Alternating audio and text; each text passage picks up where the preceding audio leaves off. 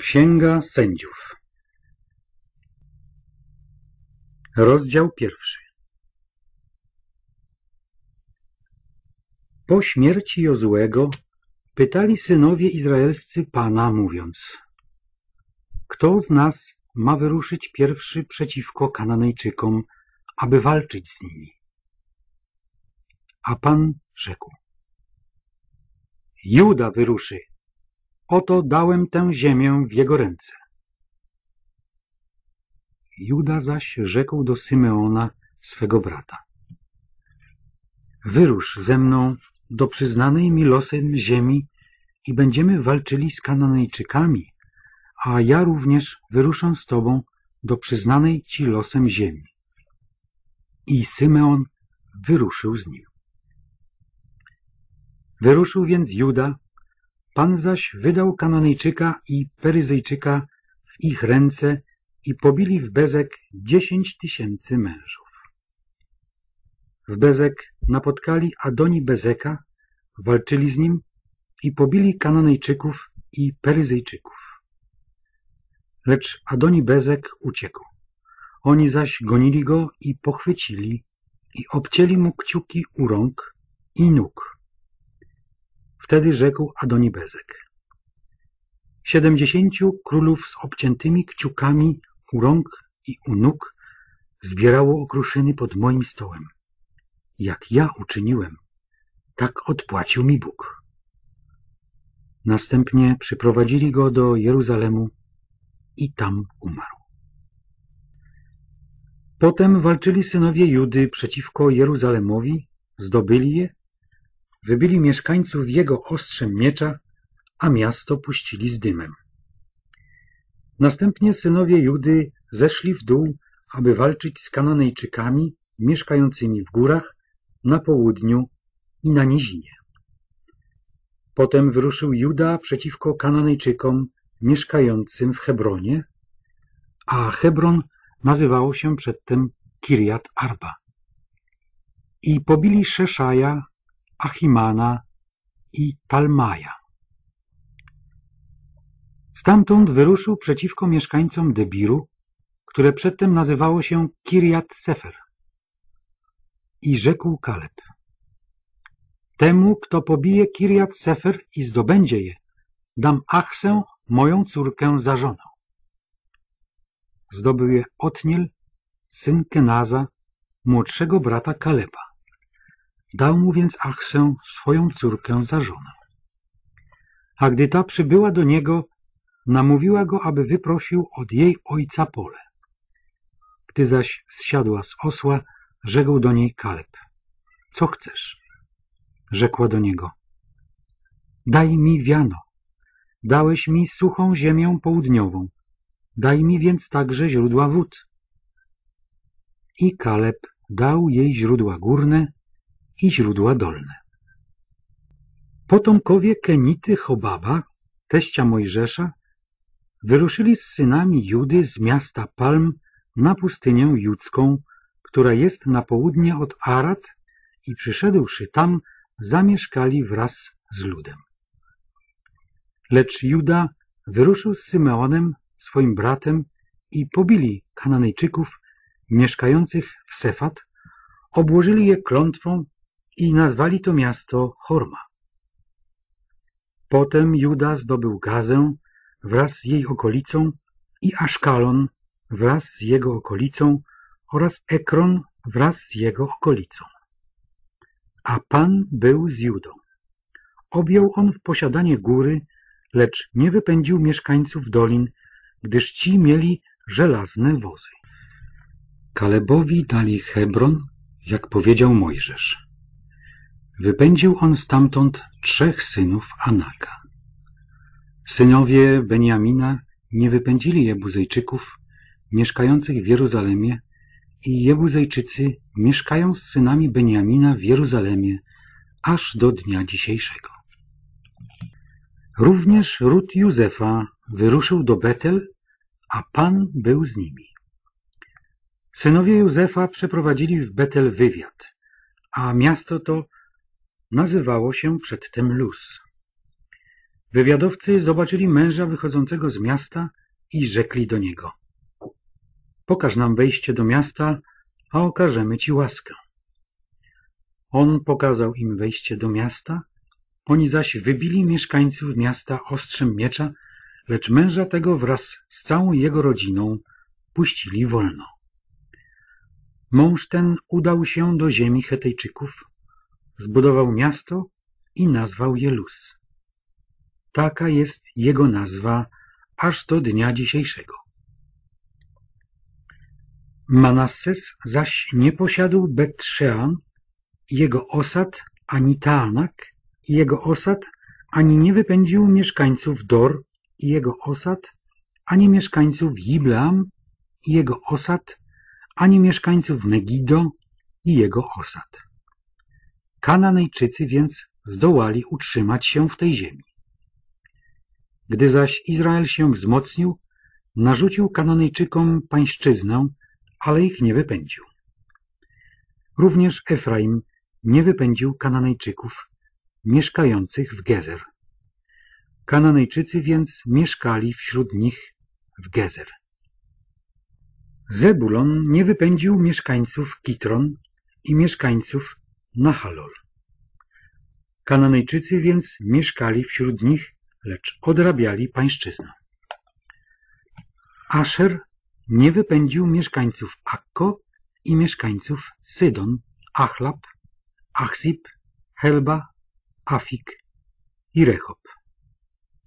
Aszeryci więc mieszkali wśród Kananejczyków mieszkających w tej ziemi, gdyż ich nie wypędzili. Naftali nie wypędził mieszkańców Bet Szemesz i mieszkańców Bet Anat, mieszkał więc wśród Kananejczyków mieszkających w tej ziemi, lecz mieszkańcy Bet Szemesz i Bet Anat odrabiali dla nich pańszczyznę. Amoryjczycy wyparli synów Dana w górskie okolice i nie pozwolili im zejść w doliny. Amoryjczycy utrzymali się w Har Heres, w Ajalon i w lecz ręka rodu Józefa zaciążyła nad nimi i odrabiali dla nich pańszczyznę. A obszar Amoryjczyków sięgał od wzniesienia skorpionów do Sela i wzwyż. Rozdział drugi I wstąpił anioł pański z Gilgal do Bochim i rzekł Wywiodłem was z Egiptu i wprowadziłem was do ziemi, którą przysiągłem waszym ojcom, mówiąc Nie naruszę przymierza mego z wami na wieki. Tylko wy nie zawierajcie przymierza z mieszkańcami tej ziemi, ale zburzcie ich ołtarze. Wy jednak nie usłuchaliście mojego głosu. Czemu to uczyniliście? Przeto i ja powiadam. Nie wypędzę ich spośród was, będą wam wrogami, a ich bogowie będą dla was sidłem. Gdy tedy anioł pański wyrzekł te słowa do wszystkich synów izraelskich, lud podniósł swój głos i zapłakali. I nadali tej miejscowości nazwę Bochim i złożyli tam Panu ofiarę. A gdy Jozue rozpuścił lud i synowie izraelscy poszli każdy do swego dziedzictwa, aby objąć ziemię w posiadanie, lud służył Panu przez wszystkie dni życia Jozuego oraz przez wszystkie dni życia starszych, którzy Jozuego przeżyli, a którzy oglądali wszystkie wielkie dzieła, jakich Pan dokonał dla Izraela. Jozue, syn Nuna, sługa Pana, umarł licząc 110 lat.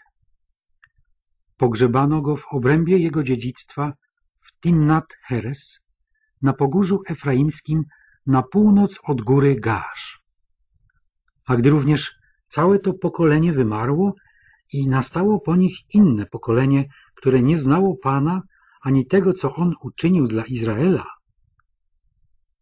Zaczęli synowie izraelscy czynić zło w oczach Pana i służyli Baalom. opuścili Pana, Boga ojców swoich, których ich wywiódł z ziemi egipskiej i chodzili za innymi bogami spośród bogów ludów okolicznych i oddawali im pokłon, drażniąc Pana. Tak opuścili Pana, a służyli Baalowi i Asztartom. Wtedy zapłonął gniew Pana na Izraela, wydał ich więc w rękę łupieżców, którzy ich łupili i zaprzedał ich w ręce ich okolicznych wrogów i nie mogli się już ostać przed swoimi wrogami.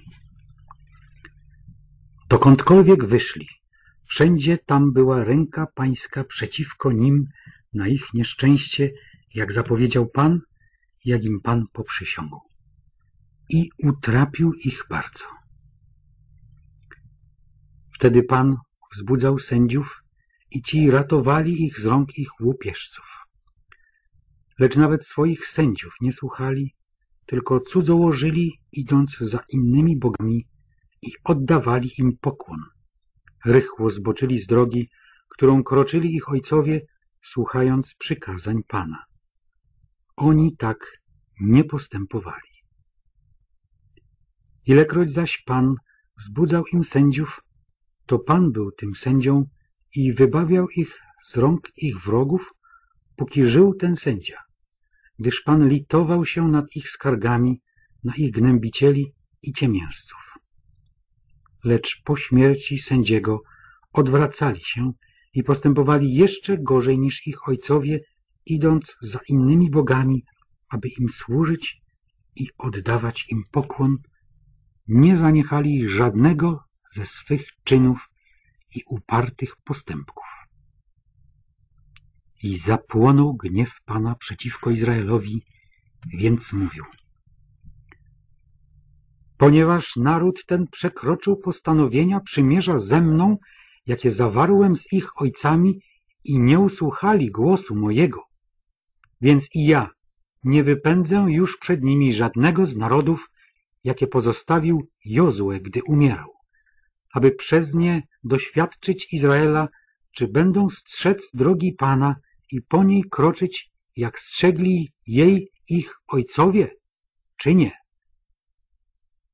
Dlatego Pan pozostawił w spokoju te narody, nie wypędzając ich zaraz i nie dał ich w ręce Jozuego.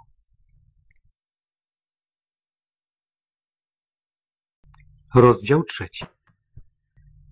A to są narody, które Pan pozostawił w spokoju, aby przez nie doświadczyć Izraela, tych wszystkich, którzy już nie wiedzieli o wszystkich wojnach o Kanaan, a to jedynie w tym celu, aby późniejsze pokolenia synów izraelskich nauczyły się prowadzenia wojny, więc tylko ci, którzy przedtem tego nie umieli pięciu książąt filistyńskich i wszyscy Kananejczycy i Sydończycy i Chiwijczycy mieszkający na Pogórzu Libańskim od góry Baal Hermon aż do wejścia do Hamat.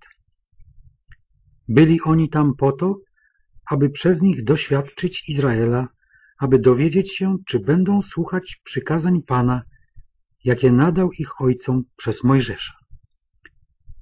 Synowie izraelscy mieszkali tedy pośród Kananejczyków i Hetejczyków i Amorejczyków i Peryzejczyków i Chiwijczyków i Jebuzejczyków i brali sobie ich córki za żony, a córki swoje wydawali za mąż za ich synów i służyli ich Bogom.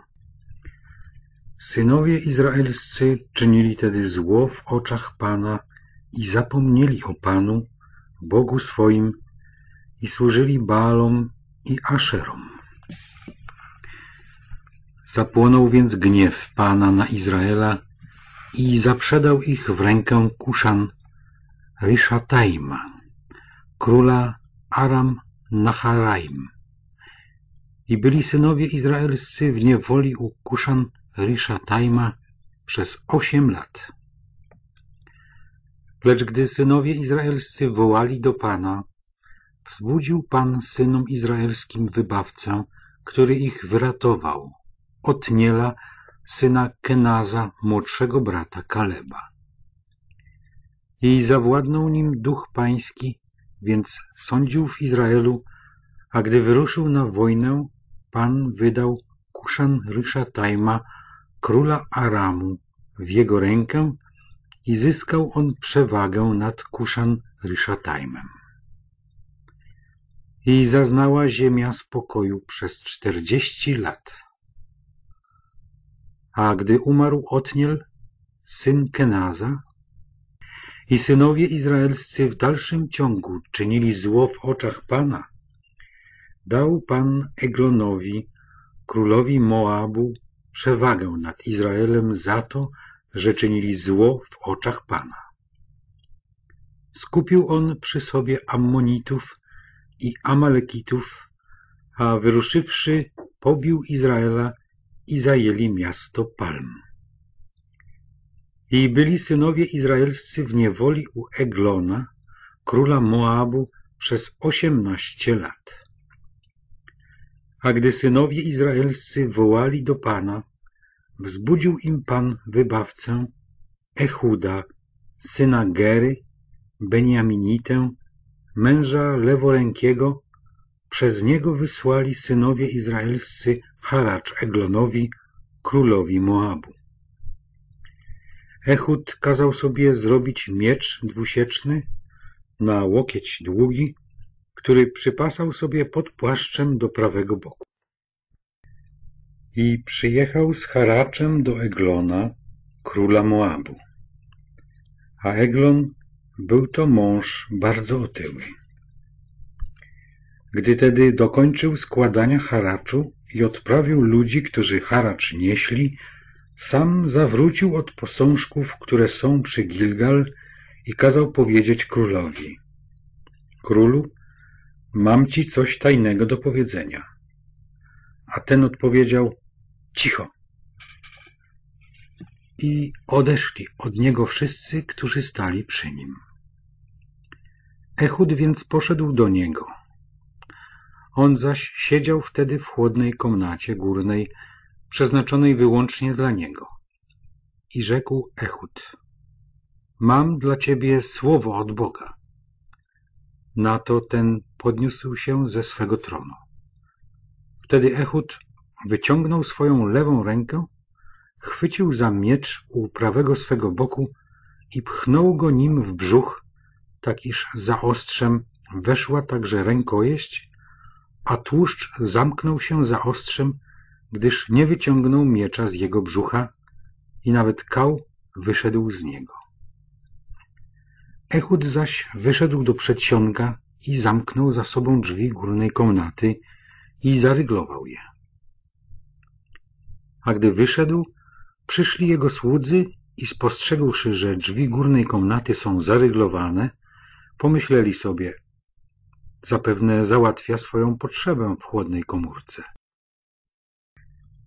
A naczekawszy się, aż im się uprzykrzyło, gdy nikt drzwi górnej komnaty nie otwierał, wzięli klucz i otworzyli, a oto pan ich leżał martwy na ziemi. Ehud zaś, podczas gdy oni marudzili, uszedł i minąwszy posążki, schronił się w Sejra. A gdy tam przyszedł, zadał w trąbę na pogórzu efraimskim i zstąpili z nim synowie izraelscy z góry, a on na ich czele. I rzekł do nich, chodźcie za mną, gdyż Pan wydał waszych nieprzyjaciół Moabitów w wasze ręce. I poszli za nim, obsadzili brody jordańskie aż do Moabu i nie pozwalali nikomu przechodzić. W tym czasie wybili Moabitów w liczbie około dziesięciu tysięcy mężów, wszystko ludzi silnych i zdatnych do boju, i nikt nie ocalał. W tym dniu został Moab poddany pod władzę Izraela i ziemia zażywała spokoju przez osiemdziesiąt lat. A po nim nastał Szamgar, syn Anata, który wybił Filistynów w liczbie sześciuset mężów ościeniem na woły. On także wyratował Izraela. Rozdział czwarty A gdy umarł Ehud, synowie izraelscy nadal czynili zło w oczach Pana, więc Pan wydał ich w ręce Jabina, króla Kanaanu, który panował w Hasor. A wodzem jego wojska był Sysera, który mieszkał w Haroszet Haggoim. Synowie izraelscy wołali tedy do Pana. Miał on bowiem dziewięćset żelaznych wozów bojowych i srodze uciskał synów izraelskich przez dwadzieścia lat. Tym czasie sądziła Izraelitów prorokini Debora, żona Lapidota. Siadywała ona pod palmą Debory pomiędzy Ramą a Betelem na pogórzu efraimskim i synowie izraelscy przychodzili do niej na sąd. Posłała ona wezwanie do Baraka, syna Abinoama, z Kedesz Naftali i kazała mu powiedzieć Oto tak nakazuje Pan Bóg Izraela. Wyrusz i pociągnij na górę Tabor, a weź ze sobą dziesięć tysięcy mężów z synów Naftaliego i z synów Zebulona, ja zaś ściągnę ku tobie nad potok Kiszon Syserę, wodza wojska Jabina, wraz z jego wozami i z jego zgiełkliwą gromadą i wydam go w twoją rękę. Barak kazał jej odpowiedzieć. Jeżeli ty pójdziesz ze mną, to pójdę, lecz jeżeli ty nie pójdziesz ze mną, to nie pójdę. A ona rzekła. Pójdę z tobą, tylko że nie tobie przypadnie sława tej wyprawy, na którą ciągniesz, gdyż Pan wyda Syserę w ręce kobiety. Powstała tedy Debora i wyruszyła z Barakiem do Kedesz. I zwołał Barak Zebulonitów i Naftalitów do Kedesz i dziesięć tysięcy mężów szło za nim, szła z nim także Debora. A Heber, Kenita, odłączył się od Kenitów, potomków Hobaba, teścia Mojżesza, i rozbił swój namiot przy Dąbrowie Sanaim, które jest przy Kedesz. A gdy doniesiono Syserze, że Barak, syn Abinoama, wyruszył na górę Tabor, Sysera zwołał wszystkie swoje wozy w liczbie dziewięciuset, żelazne wozy bojowe i całe swoje wojsko, które miał pod sobą z Haroszet Hagoim nad potok Kiszon. Wtedy rzekła Debora do Baraka. Ruszaj, gdyż to dzisiaj wyda Pan Syserę w Twoje ręce. Oto Pan ruszył już przed Tobą. Stąpił tedy Barak z góry Tabor, a za nim dziesięć tysięcy mężów. I wzbudził Pan popłoch u Sysery i wśród wszystkich jego wozów i w całym jego obozie przez Baraka, tak iż Sysera zeskoczył z wozu i uciekał pieszo, Barak zaś ścigał wozy i wojsko aż do Haroszet Hagoim i padło całe wojsko Sysery od miecza, ani jeden się nie ostał. Sysera zaś uciekał pieszo i schronił się w namiocie Jael, żony Hebera, gdyż między Jabinem, królem Hasoru, a domem Hebera, Kenity, panował pokój. I wyszła Jael na spotkanie Sysery i rzekła do niego. Wstąp, mój panie, wstąp do mnie, nie bój się. Wstąpił więc do niej, do namiotu, a ona przykryła go zasłoną, on zaś rzekł do niej. Podaj mi trochę wody do picia, bom spragniony.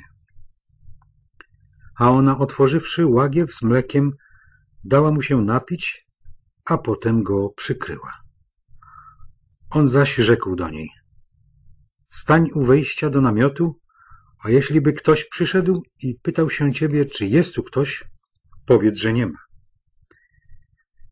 Potem wzięła Jael, żona Hebera, palik od namiotu, następnie chwyciła do ręki młot, podeszła do niego cicho i wbiła palik w jego skroń, aż utkwił w ziemi, bo zasnął twardo, gdyż był zmęczony. I tak zginął. Barak zaś ścigał Syserę. Wtedy wyszła Jael na jego spotkanie i powiedziała mu Chodź, a pokażę ci męża, którego szukasz. I wstąpił do niej, a oto Sysera leżał martwy z palikiem w skroni. W tym dniu upokorzył Pan Jabina, króla Kanaanu, wobec synów izraelskich, a ręka synów izraelskich była coraz twardsza dla Jabina, króla Kanaanu, aż zgładzili Jabina, króla Kanaanu.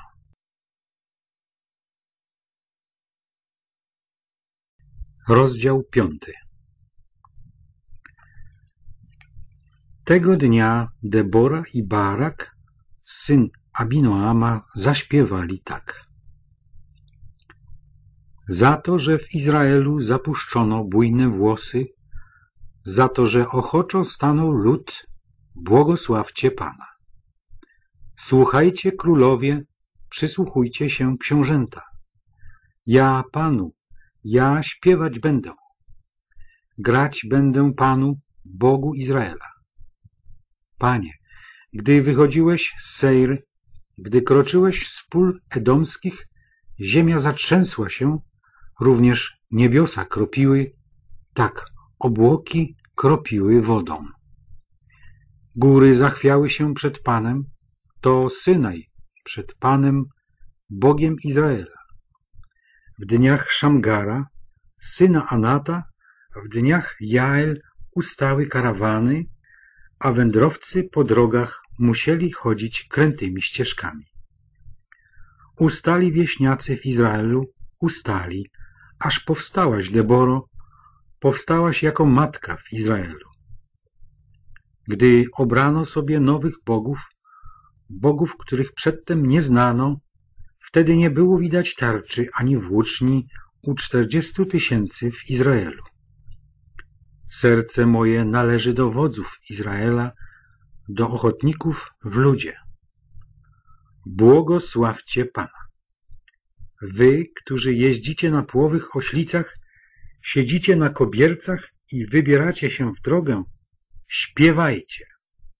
Słuchaj. Ci, którzy rozlewają wodę po korytach do pojenia, opiewają tam zbawcze czyny Pana zbawcze czyny dokonane na wieśniakach Jego w Izraelu.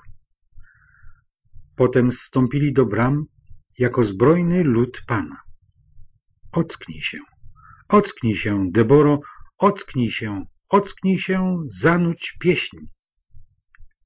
Powstań, Baraku, i poprowadź w niewolę tych, którzy Ciebie w niewolę prowadzili, synu Abinoama. Wtedy zstąpiła resztka wraz z zacnymi, zbrojny lud. Panie, stąp do mnie wśród bohaterów. Z Efraima stąpili w dolinę, idąc za Tobą, Beniaminie, z Twoimi rodakami. Z Machiru stąpili wodzowie, a z Zebulona trzymający buławę. I książęta z Issachara byli z Deborą, a jak Issachar taki barak, w dolinę poniosły go jego nogi. Lecz w oddziałach Rubena były długie rozważania. Dlaczego siedziałeś bezczynnie między dwiema owczarniami? By słuchać fujarek przy trzodach? W oddziałach Rubena były długie rozważania. Gilad mieszkał sobie za Jordanem, a Dan dlaczego żeglował na okrętach?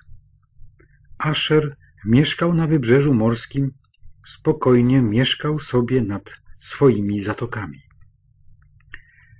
Zebulon to lud, który z pogardą naraża swe życie na śmierć. Także Naftali na wyżynnych polach. Przyszli królowie i walczyli, walczyli wówczas królowie kananejscy w Tanak nad wodami Megiddo. Lecz łupu w srebrze nie wzięli. Z nieba walczyły gwiazdy, ze swoich torów walczyły z Syserą. Potok Kiszon porwał ich, prąd potoku Kiszon. Wystąp duszo moja z mocą, donośny był wtedy tupot kopyt końskich, odpędu, odpędu ich jeźdźców. Przeklnijcie Meros, rzekł anioł Pana. Przeklnijcie jego mieszkańców za to, że nie przyszli na pomoc Panu, na pomoc Panu wśród bohaterów.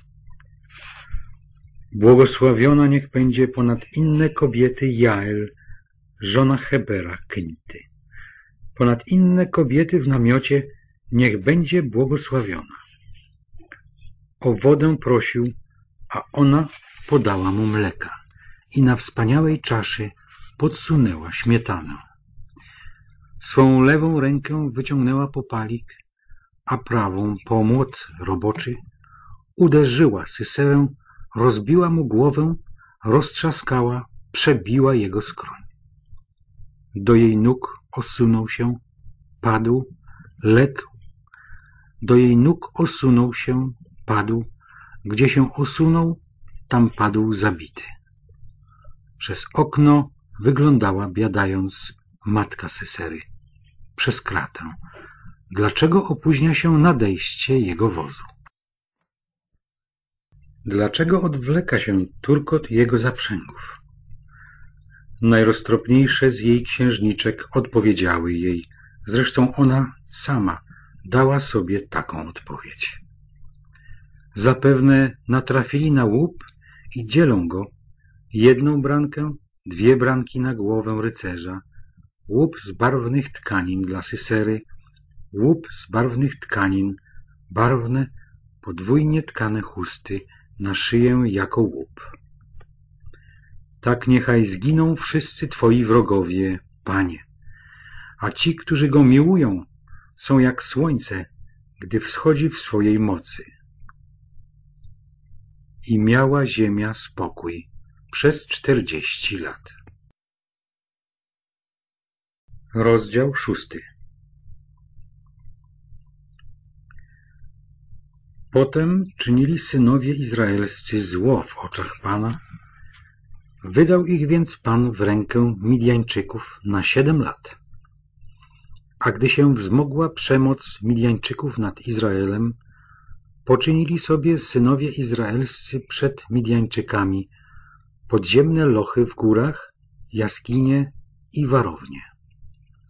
I zdarzało się, że gdy Izrael zasiał, nadciągali Midianczycy i Amalekici i ludzie ze wschodu i napadali go, rozkładali się u nich obozem i niszczyli plon ziemi aż do okolic Gazy i nie zostawiali w Izraelu żywności ani owcy, ani wołu, ani osła, gdyż nadciągali wraz ze swoimi stadami i z namiotami i przybywali tak licznie jak szarańcza.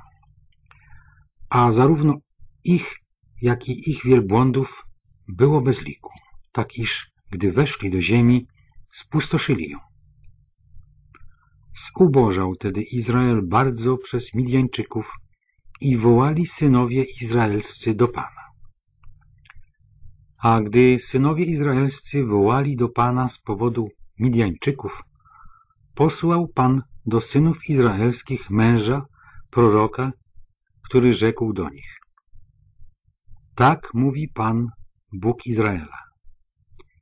Ja wywiodłem was z Egiptu i wyprowadziłem was z domu niewoli i wyrwałem was z ręki Egipcjan i z ręki wszystkich waszych gnębicieli, których wygnałem przed wami, dając wam ich ziemię. I rzekłem do was, Jam jest Pan, Bóg wasz. Nie lękajcie się bogów Amorejczyków, których ziemi mieszkacie, lecz wy nie usłuchaliście mojego głosu. Pewnego razu przyszedł anioł pański i usiadł pod dębem, który był w Ofra, a należał do Joasza, potomka Abiezera, podczas gdy Gedeon, jego syn, wyklepywał pszenicę w tłocznie winnej, aby ją zabezpieczyć przed Midjańczykami.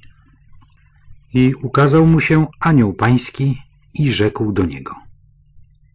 Pan z tobą, mężu waleczny. A Gedeon rzekł do niego. Za pozwoleniem, panie mój, jeżeli pan jest z nami, to dlaczego spotkało nas to wszystko?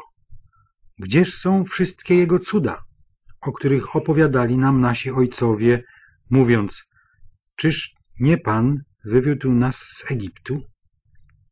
Teraz zaś porzucił nas pan i wydał nas w rękę Midjańczyków. Wtedy pan zwrócił się do niego i rzekł. Idź w tej mocy Twojej i wybaw Izraela z ręki Midjańczyków. Przecież to ja Cię wysyłam. On zaś rzekł do niego. Za pozwoleniem, panie mój, czym wybawię Izraela? Oto mój ród jest najbiedniejszy wśród Manasesytów, ja sam zaś najmłodszy w domu mego ojca. A Pan rzekł do niego. Ponieważ ja będę z tobą, pobijesz Midjańczyków jak jednego męża. I odpowiedział mu. Jeżeli znalazłem łaskę w twoich oczach, to daj mi jakiś znak, że to ty rozmawiasz ze mną. Nie odchodź stąd, aż wrócę do ciebie i przeniosę ci ofiarę z pokarmów i położę ją przed tobą. A tamten rzekł, pozostanę tu, aż wrócisz. I poszedł Gedeon i przyrządził koźlę oraz placki z jednej efy mąki. Mięso włożył do kosza, polewkę wlał do garnka i przyniósł do niego pod dąb i położył przed nim.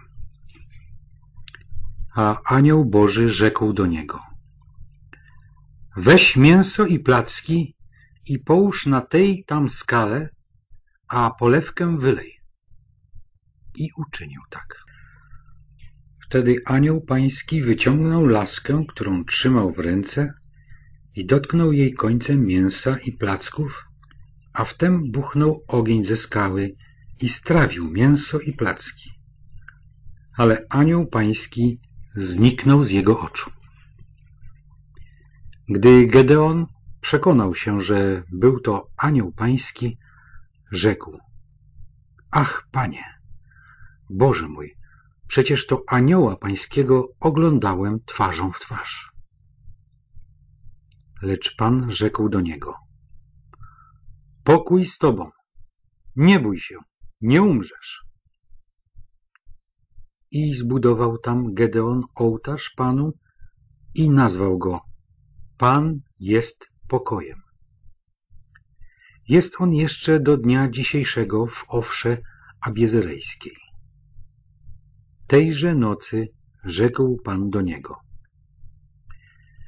Weź cielca z bydła twojego ojca i drugiego, siedmioletniego cielca i rozwal ołtarz Baala, który należy do twojego ojca i zetnij słup, który jest przy nim, a zbuduj dla Pana, Boga Twego na szczycie tej warowni ołtarz z ułożonych kamieni i weź drugiego cielca i złóż całopalenie na drwach ze słupa, który ściąłeś. Gedeon wziął więc dziesięciu mężów spośród swoich sług i uczynił tak, jak mu powiedział Pan. Ponieważ jednak bał się domowników swojego ojca i obywateli miasta, aby uczynić to w dzień, uczynił to w nocy. A gdy wstali wcześnie rano obywatele miasta, oto ołtarz Bala był zburzony, a słup, który był obok niego, ścięty. Na nowo zaś zbudowanym ołtarzu złożone było całopalenie z drugiego cielca. Mówili tedy jeden do drugiego. Któż to uczynił? A gdy przeprowadzili dochodzenie, powiedzieli. Uczynił to Gedeon, syn Joasza. Wtedy rzekli obywatele miasta do Joasza. Wyprowadź swego syna, niech zginie, gdyż zburzył ołtarz Baala i ściął słup, który był przy nim. I rzekł Joasz do wszystkich, którzy stali przy nim. Czy chcecie walczyć o Baala? Czy chcecie go ratować? Kto o niego będzie walczył, do rana zginie. Jeżeli jest Bogiem, niech sam o siebie walczy. Przecież to jego ołtarz został zburzony.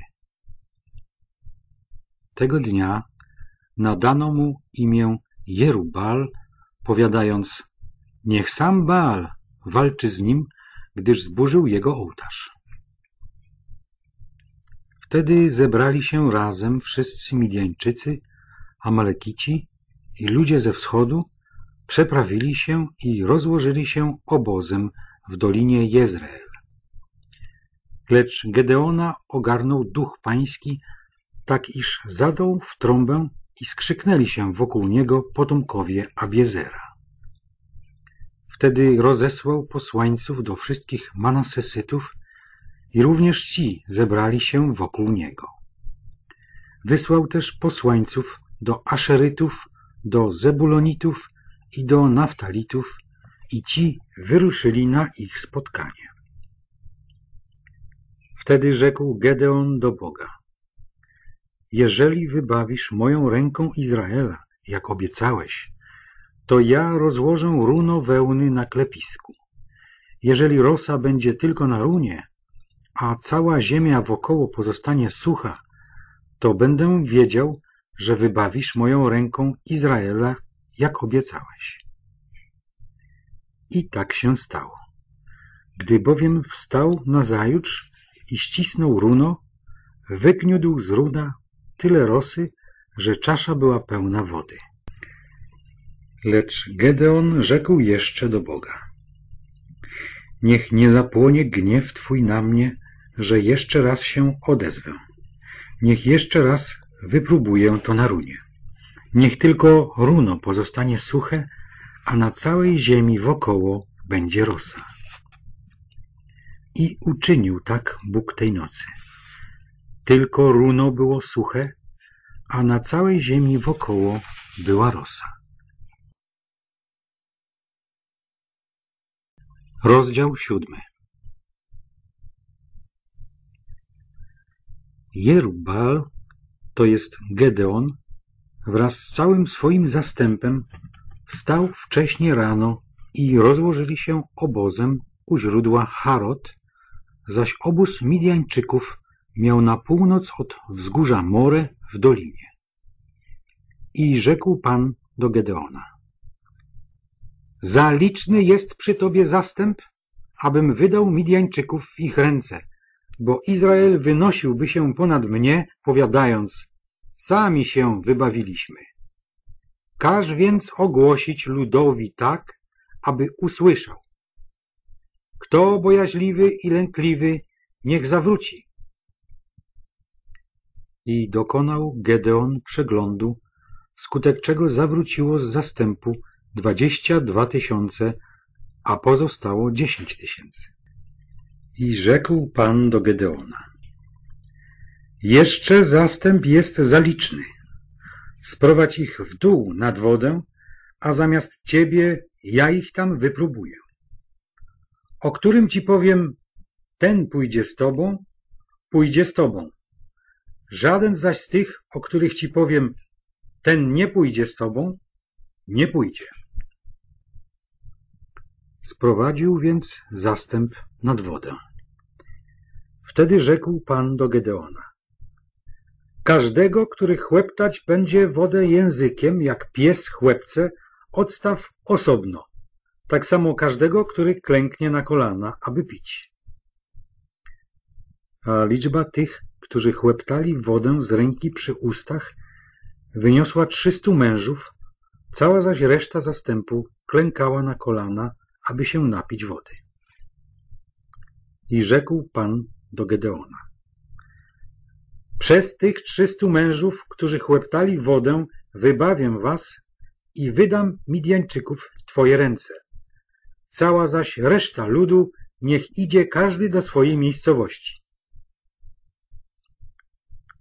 Zabrali tedy z sobą żywność dla zastępu i swoje trąby, resztę zaś mężów izraelskich odesłał do domów, lecz owych trzystu mężów zatrzymał, a obóz Midianczyków miał poniżej od siebie w dolinie. Tejże nocy rzekł Pan do niego.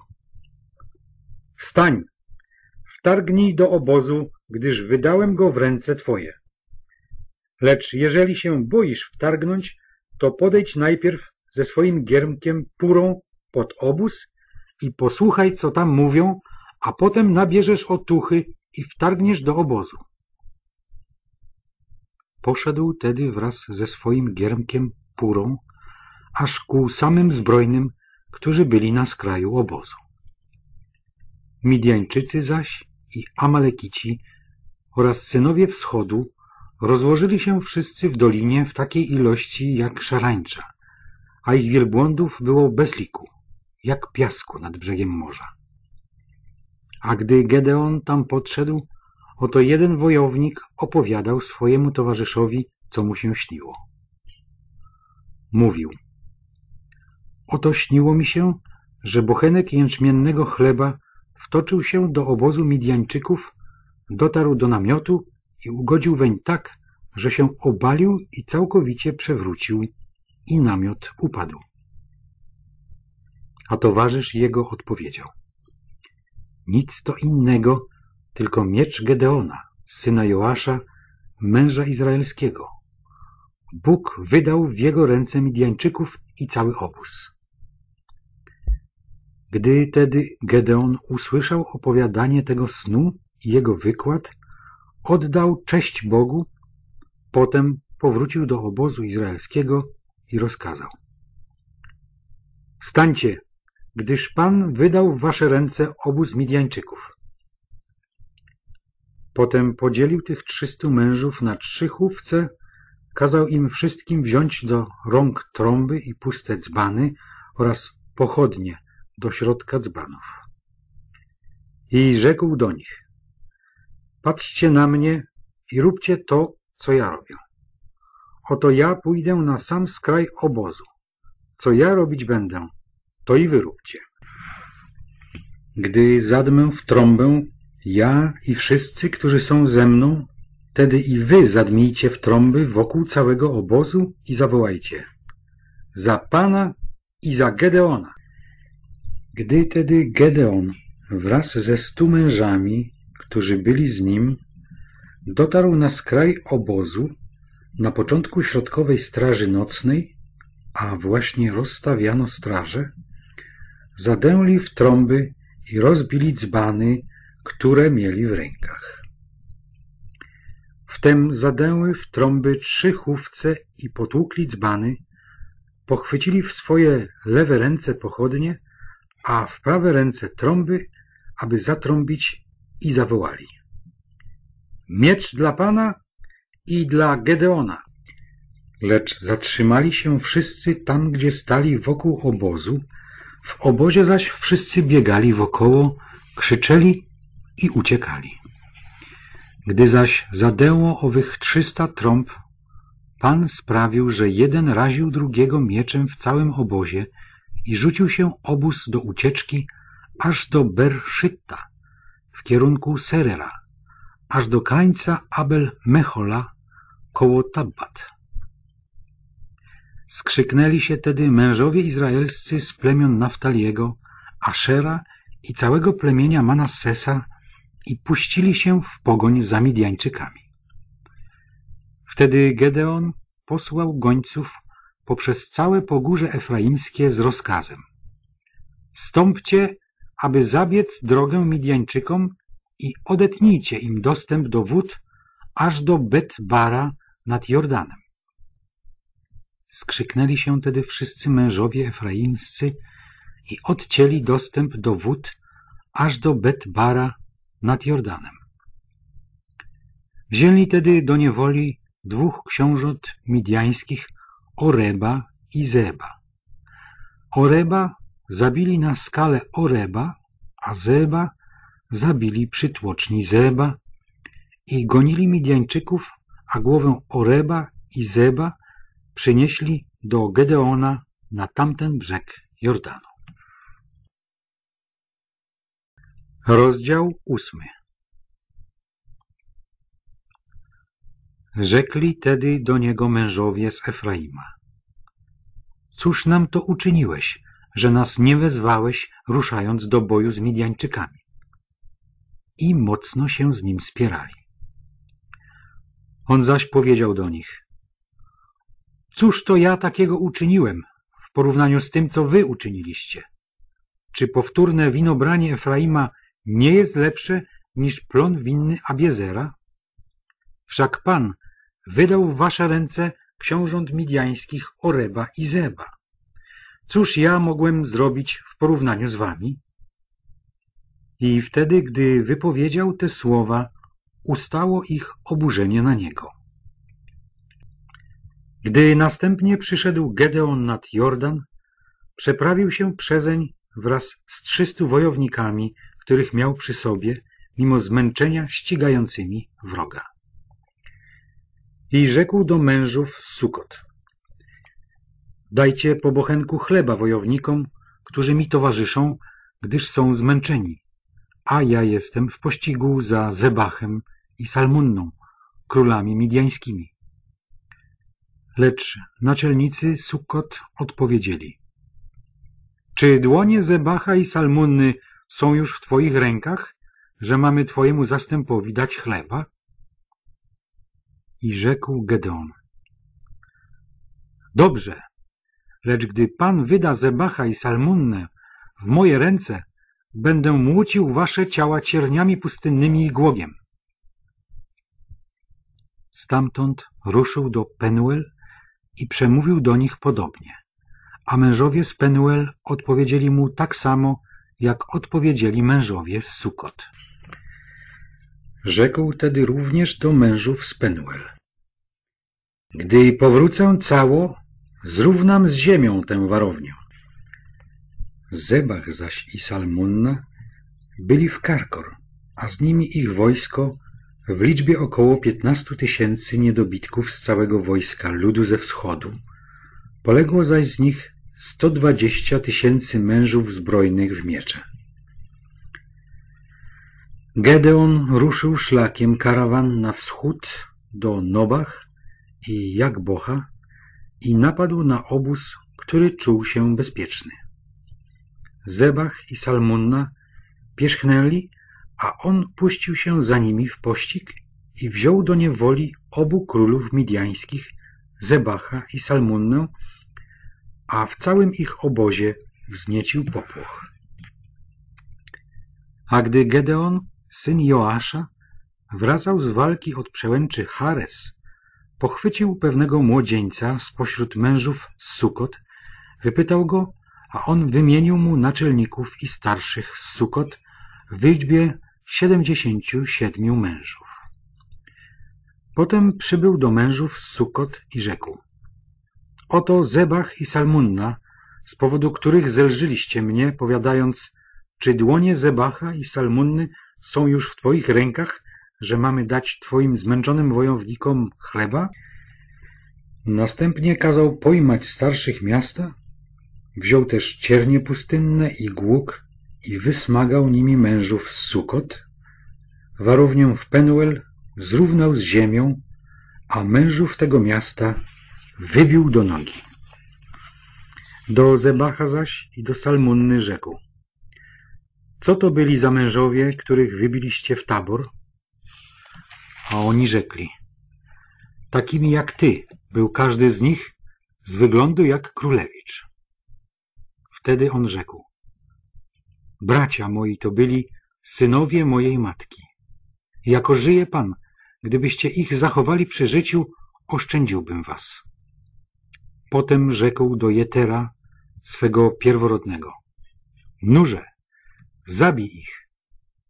Lecz młodzian nie dobył swego miecza, gdyż wzdrygnął się przed tym, bo był jeszcze młody. Rzekli więc Zebach i Salmonna. Nurze, ty sam zadaj nam cios, gdyż jaki mąż, taka jego siła. Wstał więc Gedeon i zabił Zebacha i Salmonnę, po czym zabrał srebrne rożki, które były na szyjach ich wielbłądów. Wówczas rzekli mężowie izraelscy do Gedeona. Panuj nad nami ty i twój syn i twój wnuk, wybawiłeś nas bowiem z ręki Midianczyków. Odpowiedział im Gedeon.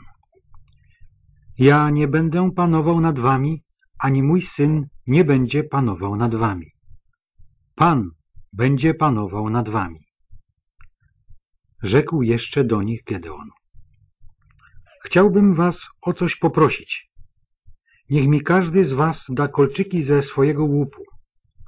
Złupieni mieli bowiem złote kolczyki, ponieważ byli Ismaelitami. A oni rzekli, chętnie damy. I rozpostarli szatę i wrzucali na nią wszyscy kolczyki ze swojego łupu. A waga złotych kolczyków, które sobie wyprosił, wyniosła tysiąc siedemset cykli złota, oprócz rożków, wisiorków i szat szkarłatnych, które należały do królów midiańskich i oprócz łańcuszków, które były na szyjach wielbłądów. A Gedeon kazał z tego sporządzić posąg, który ustawił w swoim mieście Ofra i uprawiał przy nim cały Izrael nierząd kultowy, tak iż posąg ten stał się pułapką dla Gedeona i jego domu. Tak zostali Midianczycy upokorzeni przed Izraelitami i już nie podnosili swej głowy. Ziemia zaś zaznawała spokoju przez czterdzieści lat za dni Gedeona. Potem poszedł Jerubal, syn Joasza i osiadł w swoim domu. A Gedeon miał siedemdziesięciu własnych synów, gdyż miał wiele żon. A również jego nałożnica, przebywająca w Sychem, urodziła mu syna. Temu nadał imię Abimelech. A gdy umarł Gedeon, syn Joasza, podeszłym już wieku, został pochowany w grobie Joasza, swojego ojca, w Owsze Abiezerejskiej. A po śmierci Gedeona odwrócili się synowie izraelscy od Pana, zaczęli znów uprawiać nierząd z Baalami, ustanowili sobie Bogiem Baala Berit. Synowie izraelscy nie pamiętali o Panu, swoim Bogu, który ich wyrwał z ręki wszystkich ich okolicznych nieprzyjaciół. I nie odnieśli się przychylnie do domu Jerubala, Gedeona, odpowiednio do wszystkich dobrodziejstw, jakie on wyświadczył Izraelowi. Rozdział dziewiąty Lecz Abimelech, syn Jerubala, poszedł do Sychem, do braci swojej matki i przemówił do nich i do wszystkich krewnych swojej matki tak. Zapytajcie się wyraźnie wszystkich obywateli Sychem, co jest dla was lepiej? Czy żeby panowało nad wami siedemdziesięciu mężów, samych tylko synów Jerubala, czy też żeby panował nad wami jeden mąż? Pamiętajcie także, żem ja ciało z ciała waszego i kość z kości waszej. Przemówili tedy bracia jego matki wyraźnie za nim do wszystkich obywateli z Sychem tymi właśnie słowy i serce ich skłoniło się ku Abimelechowi. Powiedzieli sobie bowiem, brat to nasz. Dali mu też siedemdziesiąt srebrników ze skarbca świątynnego Baala Berit i Abimelech zwerbował sobie za nie lekkomyślnych i zuchwałych mężów, którzy stanowili jego orszak. Następnie przyszedł do domu swojego ojca, do Ofry i wymordował za jednym zamachem swoich braci, synów Jerubala w liczbie siedemdziesięciu mężów. Ostał się tylko najmłodszy syn Jerubala, Jotam, gdyż się ukrył. Potem zeszli się wszyscy obywatele Sychem i cała załoga warowni i zgromadzili się pod dębem przy słupie, który był w Sychem i tam obwołali Abimelecha królem. Gdy o tym doniesiono Jotamowi, poszedł, stanął na szczycie góry Garizim, podniósł swój głos i zawołał na nich donośnie. Słuchajcie mnie, obywatele Sychem, a wtedy i Bóg słuchać was będzie. Zeszły się raz drzewa, aby ustanowić nad sobą króla i rzekły do Oliwki, bądź naszym królem. Lecz Oliwka rzekła do nich, czy mam zaniechać tłustości mojej, która jest we mnie, a którą cześć się oddaje Bogom i ludziom, a mam pójść, aby bujać nad drzewami? Wtedy rzekły drzewa do drzewa figowego, Nurze, zostań ty naszym królem. Lecz drzewo figowe odpowiedziało im, czy mam zaniechać mojej słodyczy i mojego dobrego plonu, a mam pójść, aby bujać nad drzewami? Wtedy rzekły drzewa do winorośli, Nurze, zostań ty naszym królem. Lecz winorośl odpowiedziała im, czy mam zaniechać moszczu mojego, który rozwesela bogów i ludzi, a mam pójść, aby bujać nad drzewami? Wtedy rzekły wszystkie drzewa do głogu, Nurze, zostań ty naszym królem. A głóg odpowiedział drzewom, jeżeli naprawdę chcecie mnie namaścić na swojego króla, chodźcie, schrońcie się w moim cieniu. A jeżeli nie, to niech wyjdzie ogień z głogu i strawi cedry Libanu. Jeżeli tedy w sposób godny i prawy uczyniliście to, że ustanowiliście Abimelecha królem, i jeżeli dobrze postąpiliście z Jerubalem i z jego domem, jeżeli odpłaciliście mu według tego, jak zasłużył, boć przecież on, mój ojciec, walczył za was, swoje życie narażał i wyrwał was z ręki Midjańczyków, wy zaś powstaliście dziś przeciwko domowi mojego ojca i wymordowaliście za jednym zamachem jego synów w liczbie siedemdziesięciu mężów i ustanowiliście Abimelecha, syna jego służącej, królem nad obywatelami Sychem, dlatego że jest waszym bratem. Jeżeli w sposób godny i prawy postąpiliście dziś z Jerubalem i z jego domem, to cieszcie się z Abimelecha i niech on także cieszy się z was. Lecz jeżeli nie, to niech wyjdzie ogień z Abimelecha i pochłonie obywateli Sychem wraz z załogą warowni i niech wyjdzie ogień z obywateli Sychem i z załogi warowni i pochłonie Abimelecha. Potem umknął Jotam, zbiegł i poszedł do Ber i zamieszkał tam, chroniąc się przed Abimelechem, swoim bratem. A gdy Abimelech panował już trzy lata nad Izraelem, Pan poróżnił Abimelecha z obywatelami Sychem tak, iż obywatele Sychem odstąpili od Abimelecha, aby pomszczony został gwałt zadany siedemdziesięciu synom Jerubala i aby ich krew spadła na Abimelecha, ich brata, który ich wymordował i na obywateli Sychem, którzy dopomogli mu wymordować swoich braci. Obywatele Sychem urządzali na niego zasadzki na szczytach górskich i obrabowywali każdego, kto obok nich przechodził drogą. I doniesiono o tym Abimelechowi. Po pewnym czasie przyszedł Gal, syn Obeda, wraz ze swymi współplemieńcami i przenieśli się do Sychem, a obywatele Sychem obdarzyli go zaufaniem. Pewnego razu wyszli w pole urządzili winobranie w swoich winnicach, tłoczyli winogrona i obchodzili uroczystość.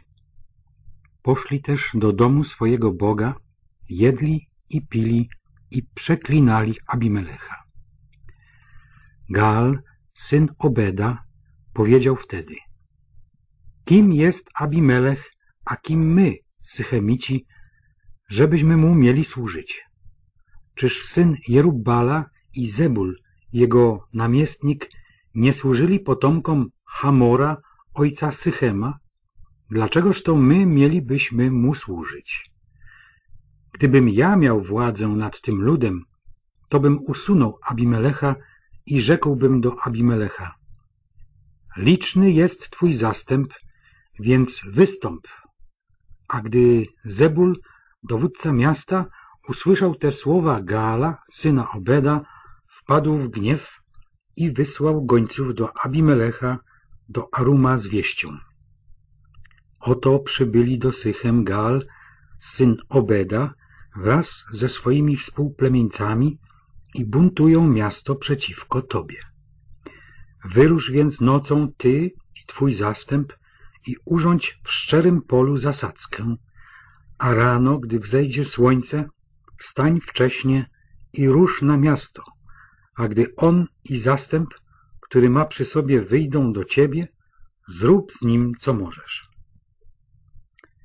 Ruszył więc Abimelech wraz ze swoim zastępem jeszcze w nocy i urządzili w czterech miejscach zasadzkę na Sychemitów.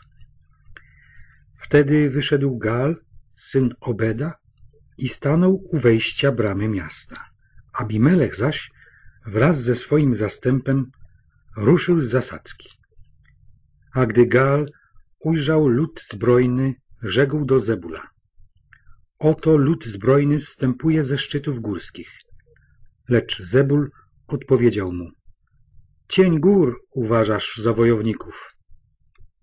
Gal jednak ponownie rzekł. Oto lud zbrojny zstępuje z samego środka ziemi, a jeden hufiec idzie od strony dębu wróżbitów.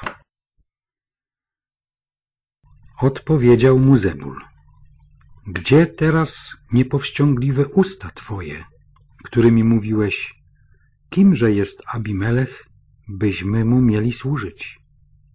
Czyż nie są to ci wojownicy, którym pogardliwie urągałeś? Wystąpże teraz i walcz z nimi. Wystąpił tedy Gal na czele obywateli Sychem i stoczył bitwę z Abimelechem. Lecz Abimelech zmusił go do odwrotu, więc pierzchnął i wielu padło trupem aż do samego wejścia do bramy. Potem zatrzymał się Abimelech u Aruma. Zebul zaś wypędził Gaala wraz z jego współplemieńcami, tak że nie mogli mieszkać w Sychem. Następnego ranka lud wyszedł w pole i Abimelech został o tym powiadomiony. Wziął tedy zbrojny zastęp, rozdzielił go na trzy chówce i urządził zasadzkę w polu. A gdy dostrzegł, że lud wychodzi z miasta, napadł na nich i wybił ich do nogi. Abimelech bowiem i hufiec, który był przy nim, natarli na nich i zajęli stanowisko przy samej bramie miasta, dwa inne chówce zaś natarły na tych wszystkich, którzy byli w polu i wybili ich. Następnie nacierał Abimelech na miasto przez cały ten dzień, zdobył miasto, a lud, który był w nim, wybił do nogi, miasto zrównał z ziemią i posypał to miejsce solą. Gdy usłyszała o tym cała załoga warowni sychemskiej, zeszła do podziemi świątyni Baal Berit. A gdy doniesiono Abimelechowi o tym, że zebrała się tam cała załoga warowni sychemskiej, ruszył Abimelech wraz z całym ludem zbrojnym, który był z nim, na górę Salmon, wziął się kierę do swojej ręki, naścinał gałęzi z drzew, wziął je i włożył na swoje ramiona i rzekł do swojego zbrojnego zastępu. Co ujrzycie, że ja uczynię szybko to samo uczyńcie. Również wszyscy zbrojni mężowie z całego jego zastępu naścinali gałęzi i podążyli za Abimelechem, ułożyli je wokoło warowni i spalili nimi warownię ogniem, tak iż poginęli wszyscy mieszkańcy warowni sychemskiej w liczbie około tysiąca mężczyzn i kobiet. Potem ruszył Abimelech na Tebes, obległ Tebes i zdobył je. Ale w środku miasta stała potężna baszta, do której schronili się wszyscy mężowie i kobiety i wszyscy obywatele miasta i zamknąwszy ją za sobą, weszli na dach baszty. Wtedy podszedł Abimelech do baszty i nacierał na nią, lecz gdy się zbliżył do drzwi baszty, aby ją podpalić, pewna kobieta rzuciła kamień młyński na głowę Abimelecha i roztrzaskała mu czaszkę. Wtedy on przywołał śpiesznie swojego giermka i rzekł do niego Dobądź swojego miecza i dobij mnie, aby nie mówiono o mnie, kobieta go zabiła. Przebił go więc jego giermek i on zmarł. A gdy mężowie izraelscy zobaczyli, że Abimelech zginął, rozeszli się każdy do swojej miejscowości.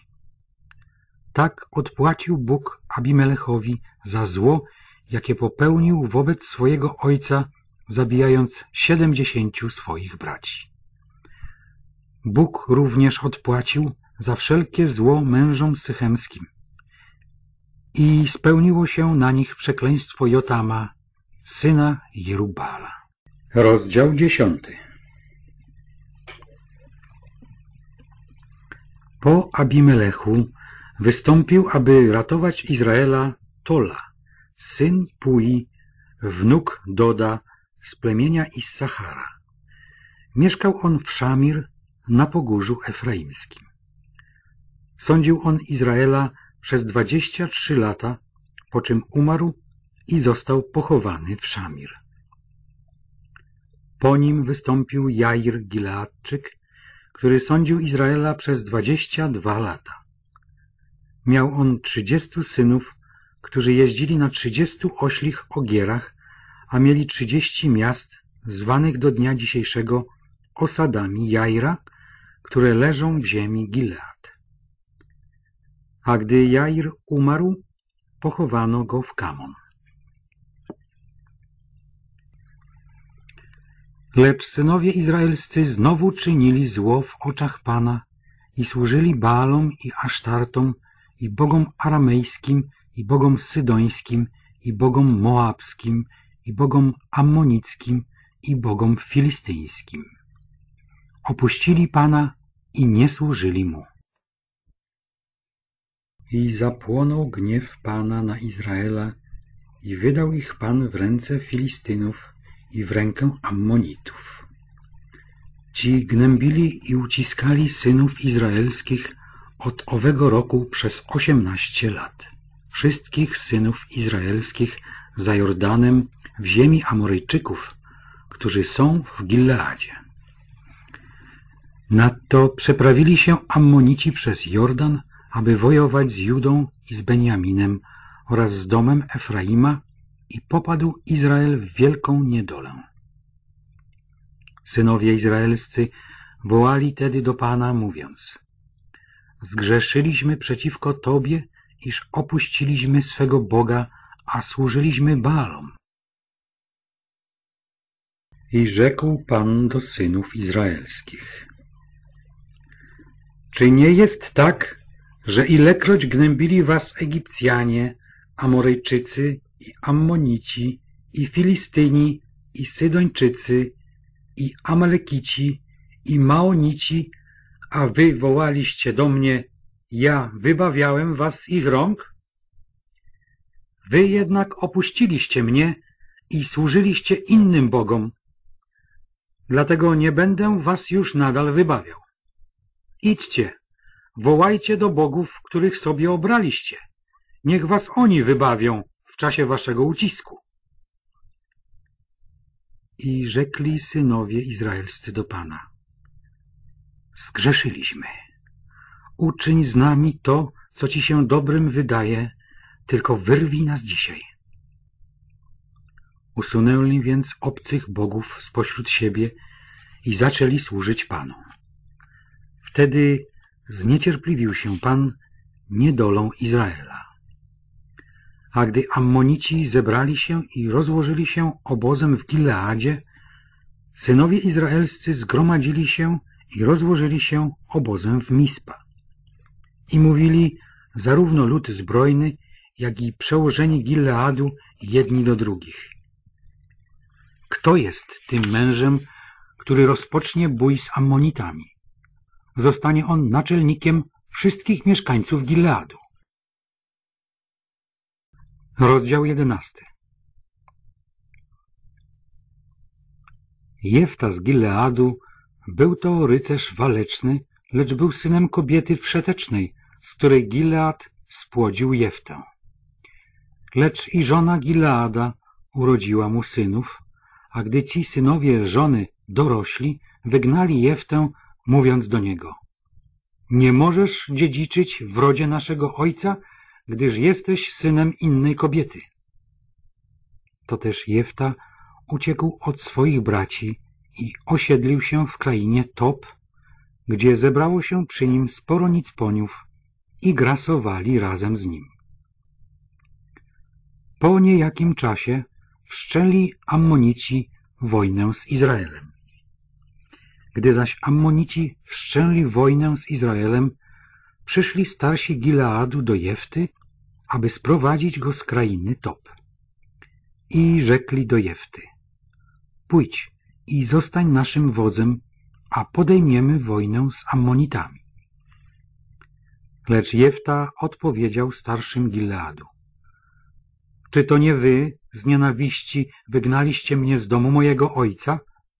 Dlaczego przychodzicie do mnie teraz, gdy popadliście w niedolę? Starsi Gileadu odpowiedzieli Jefcie. Właśnie dlatego zwróciliśmy się teraz do ciebie, abyś poszedł z nami i wojował z Ammonitami jako nasz wódz, wódz wszystkich mieszkańców Gileadu. I rzekł Jefta do starszych Gileadu.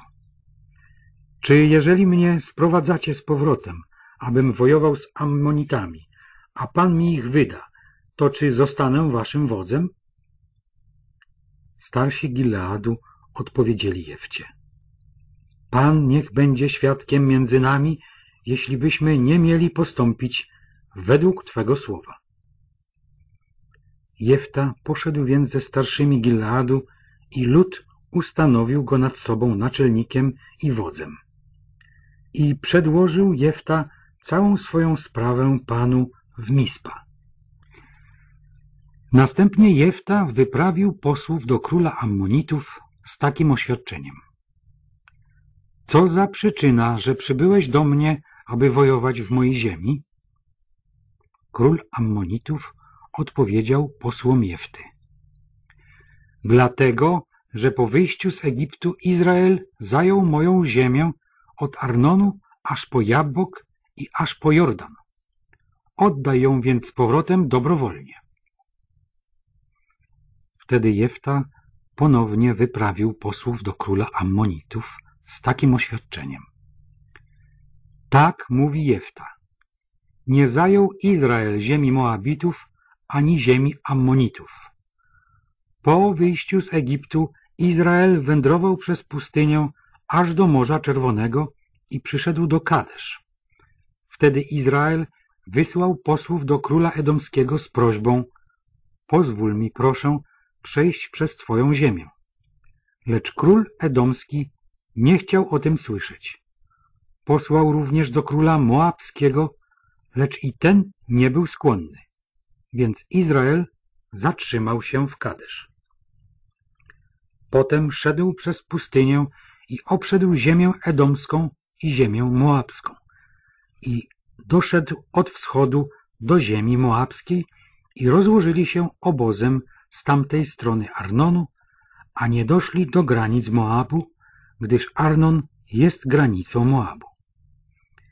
Izrael wyprawił też posłów do Sychona, króla amorejskiego, króla Heszbonu i kazał mu Izrael powiedzieć Pozwól nam przejść przez Twoją ziemię aż do naszego miejsca.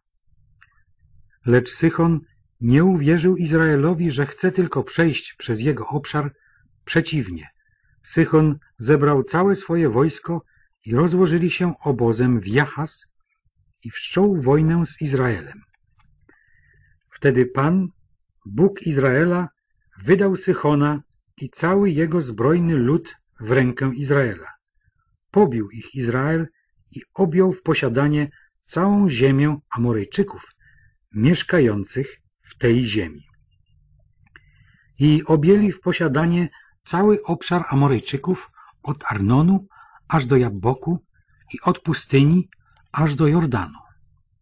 Tak tedy Pan, Bóg Izraela, wygnał Amoryjczyków sprzed oblicza swego ludu izraelskiego, a ty znowu jego chcesz wygnać?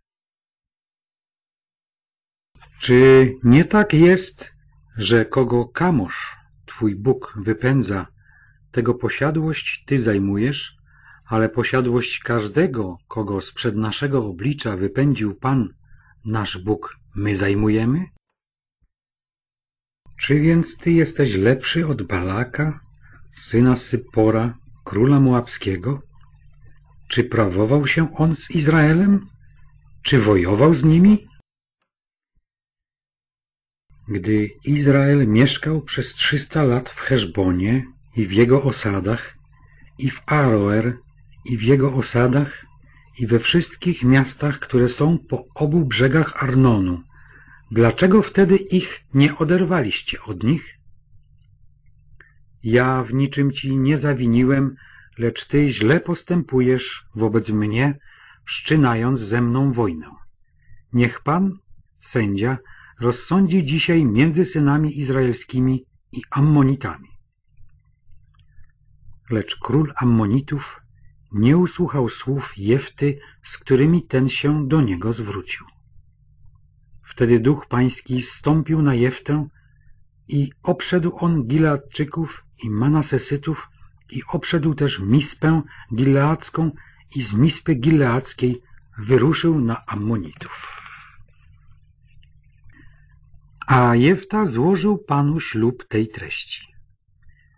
Jeżeli wydasz Ammonitów w moje ręce, to wówczas, gdy cało powrócę z wyprawy na Ammonitów, do Pana należeć będzie i na całopalenie złożę mu to, co wyjdzie na moje spotkanie z drzwi mojego domu. I wyruszył Jefta przeciwko Ammonitom, aby z nimi walczyć. A Pan wydał ich w jego ręce. I zadał im bardzo ciężką klęskę na obszarze od Aroer aż do okolic Minnit, zdobywając dwadzieścia miast i aż do Abel Keramim. Tak zostali Ammonici upokorzeni wobec synów izraelskich. A gdy Jefta przyszedł do Mispa i zbliżył się do domu swojego, oto córka jego wyszła na jego spotkanie z bębenkami i tańcami. Była zaś ona jedynaczką. Oprócz niej nie miał ani syna, ani córki. To też, gdy ją zobaczył, rozdarł swoje szaty i rzekł. Ach, córko moja, zdruzgotałaś mnie, sama zaś stała się dla mnie nietykalną. Złożyłem bowiem ślub Panu i nie mogę się cofnąć. A ona rzekła do niego, Ojcze mój, skoro złożyłeś ślub Panu, uczyń ze mną, jak ślubowałeś, gdy Pan sprawił, że wziąłeś pomstę na Twoich wrogach, na Ammonitach. Poprosiła tylko swojego ojca. Niech to będzie mi użyczone. Pozostaw mi dwa miesiące czasu, abym mogła pójść i chodzić po górach i opłakiwać moje dziewictwo wraz z moimi towarzyszkami. A on odpowiedział, idź, i wypuścił ją na dwa miesiące. Poszła tedy wraz ze swoimi towarzyszkami i opłakiwała swoje dziewictwo na górach. a po upływie dwóch miesięcy powróciła do swojego ojca, on zaś uczynił z nią zgodnie ze ślubem, jaki złożył. Ona nie obcowała z żadnym mężczyzną i weszło to w zwyczaj w Izraelu, że rokrocznie schodzą się dziewczęta izraelskie, aby przez cztery dni w roku nucić pieśni ku czci córki Jefty Gileadczyka. Rozdział dwunasty Potem zebrali się Efraimici, ruszyli na północ i rzekli do Jefty. Dlaczego wyruszyłeś na wojnę z Ammonitami, a nas nie wezwałeś, abyśmy z tobą poszli? To też spalimy twój dom razem z tobą. Odpowiedział im Jefta. Ja i mój lud miałem z Ammonitami spór bardzo ciężki, a gdy was wzywałem, nie wybawiliście mnie z ich rąk. Gdy więc widziałem, że nie mam u was pomocnika, naraziłem swoje życie i ruszyłem na Ammonitów, a Pan wydał ich w moją rękę. Dlaczego więc przyszliście dziś do mnie, aby mnie napastować? I zebrał Jefta wszystkich wojowników gileackich i wszczął wojnę z Efraimitami i pobili wojownicy gileaccy Efraimitów. Ci bowiem mówili pogardliwie. Jesteście zbiegami z Efraima, wszak Gileadczycy mieszkają między Efraimitami i Manasesytami. Gileadczycy zajęli wtedy Efraimitom brody jordańskie. Gdy potem zbiegowie efraimscy mówili pozwólcie mi przejść, wojownicy gileaccy odpowiadali czy jesteś Efraimita? A ten mówił nie. Wtedy mówili do niego powiedz Shibolet, a ten wymawiał Sibolet, bo nie mógł wymówić inaczej. Wtedy go chwytano i zabijano przy brodach jordańskich. W tym czasie padło z Efraimitów czterdzieści dwa tysiące. Jefta sądził Izraela przez sześć lat, a gdy umarł Jefta Gileadczyk, został pochowany w swym mieście Mispa w Gileadzie. Po nim sądził Izraela Ipsan z Betlejemu. Miał on trzydziestu synów, trzydzieści córek wydał za mąż poza dom, a dla swoich synów sprowadził trzydzieści dziewcząt spoza domu. Sądził on Izraela przez siedem lat. A gdy zmarł Ipsan, został pochowany w Betlejemie. Po nim sądził Izraela Elon Zebulonita. Sądził on Izraela przez dziesięć lat. A gdy umarł Elon Zebulonita, został pochowany w Ajalon w ziemi Zebulon. Po nim sądził Izraela Abdon, syn Hillela, piratończyk. Miał on czterdziestu synów i trzydziestu wnuków, którzy jeździli na siedemdziesięciu oślich ogierach. Ten sądził Izraela przez osiem lat. A gdy umarł Abdon, syn Hillela, piratończyk, został pochowany w Piraton w ziemi efraimskiej na pogórzu amalekickim. Rozdział trzynasty Lecz Izraelici znowu czynili zło w oczach Pana. Pan więc wydał ich w rękę Filistyńczyków na czterdzieści lat. A był pewien mąż w Sorea z rodziny Danitów imieniem Manoach. Żona jego była niepłodna, nie rodziła. Kobiecie tej ukazał się anioł pański i rzekł do niej Oto ty jesteś niepłodna i nie rodziłaś, ale poczniesz i porodzisz syna. Tylko teraz uważaj, nie pij wina i mocnego napoju, ani nie jedz niczego nieczystego. Gdyż oto poczniesz i porodzisz syna, brzytwa nie przejdzie po jego głowie, gdyż chłopiec ten od urodzenia będzie Nazyrejczykiem Bożym i zacznie wybawiać Izraela z ręki Filistyńczyków. I poszła ta kobieta i powiedziała do swego męża tak. Przyszedł do mnie mąż Boży, wygląd jego był jak wygląd anioła Bożego, niesamowity bardzo. Nie zapytałam go, skąd jest, a on nie powiedział mi swego imienia, tylko rzekł do mnie, oto poczniesz i porodzisz syna, ale teraz nie pij wina ani mocnego napoju, ani nie jedz niczego nieczystego, gdyż chłopiec ten od urodzenia aż do dnia swojej śmierci będzie Nazrejczykiem Bożym. Wtedy modlił się Manoach do Pana tymi słowy. O Panie mój, niechaj ten mąż Boży, którego posłałeś, przyjdzie jeszcze raz do nas i niech nas pouczy, co mamy czynić z tym chłopcem, który ma się narodzić. I wysłuchał Bóg głosu Manoacha i anioł Boży przyszedł jeszcze raz do kobiety, a ona przebywała na polu, ale jej męża nie było przy niej. Kobieta pobiegła więc szybko i doniosła o tym swojemu mężowi, mówiąc do niego. Oto ukazał mi się mąż, który przyszedł do mnie owego dnia.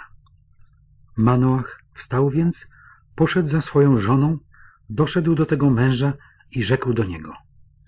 Czy ty jesteś tym mężem, który rozmawiał z moją żoną? A on na to. Tak, jestem. I rzekł Manoach.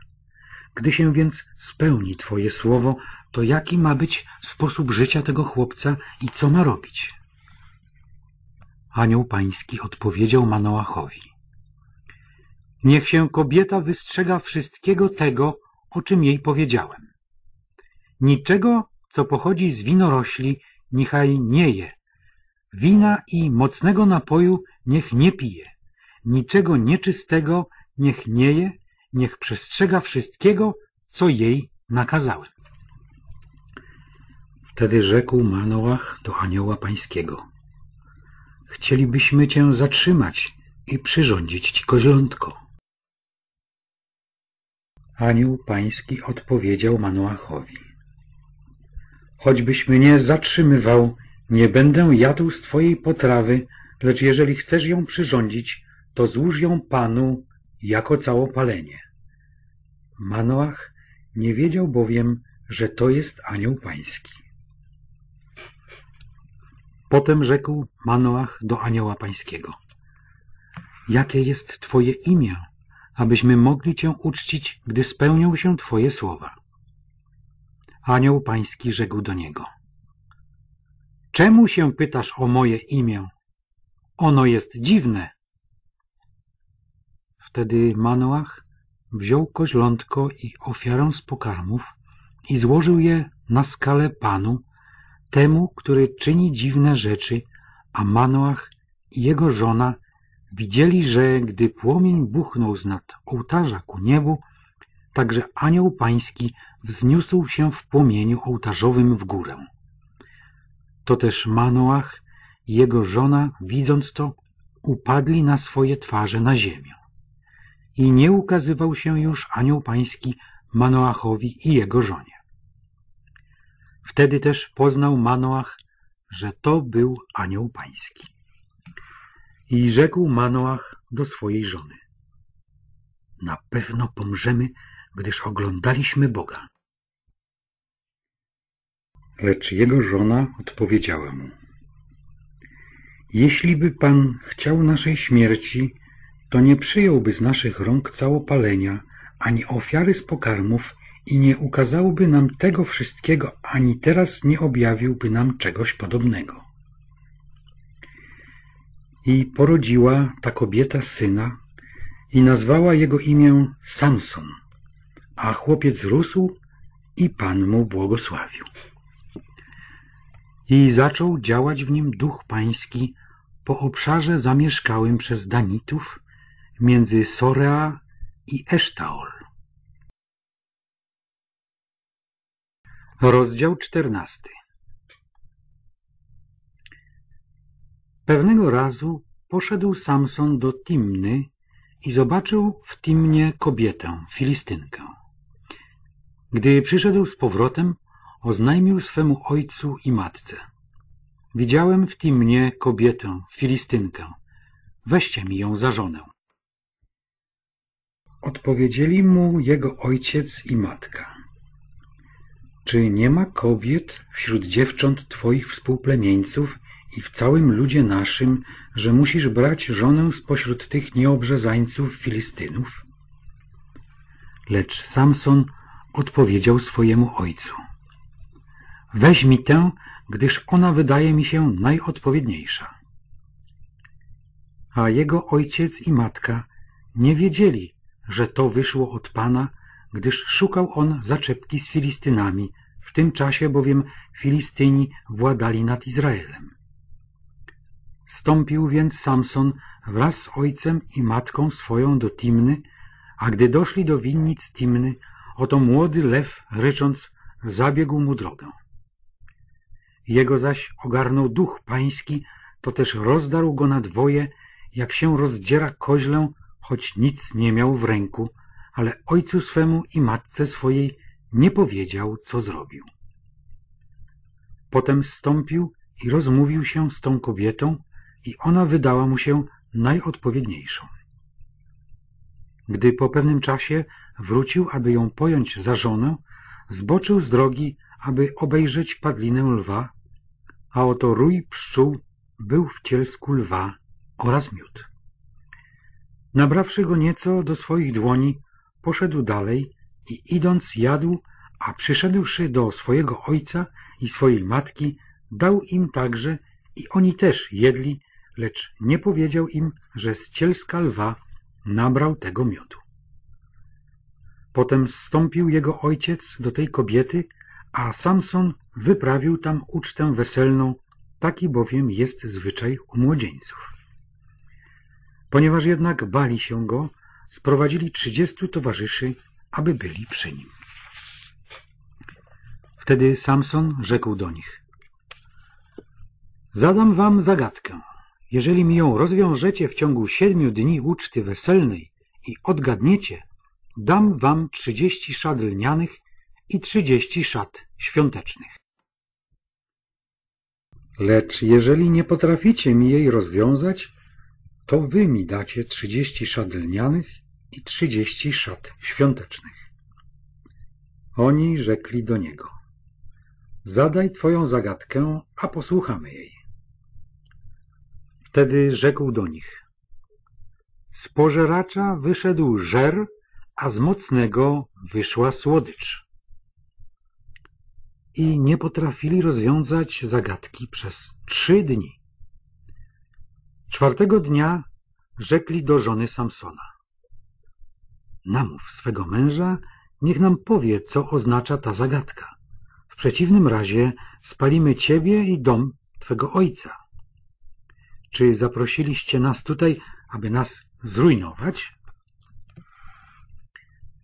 Płakała tedy żona Samsona przed nim i mówiła Ty mnie tylko nienawidzisz, a nie kochasz mnie. Zadałeś zagadkę moim rodakom, ale mnie nie powiedziałeś, co ona znaczy. Odpowiedział jej. Wszak ani ojcu, ani matce nie powiedziałem jej, a tobie miałbym powiedzieć?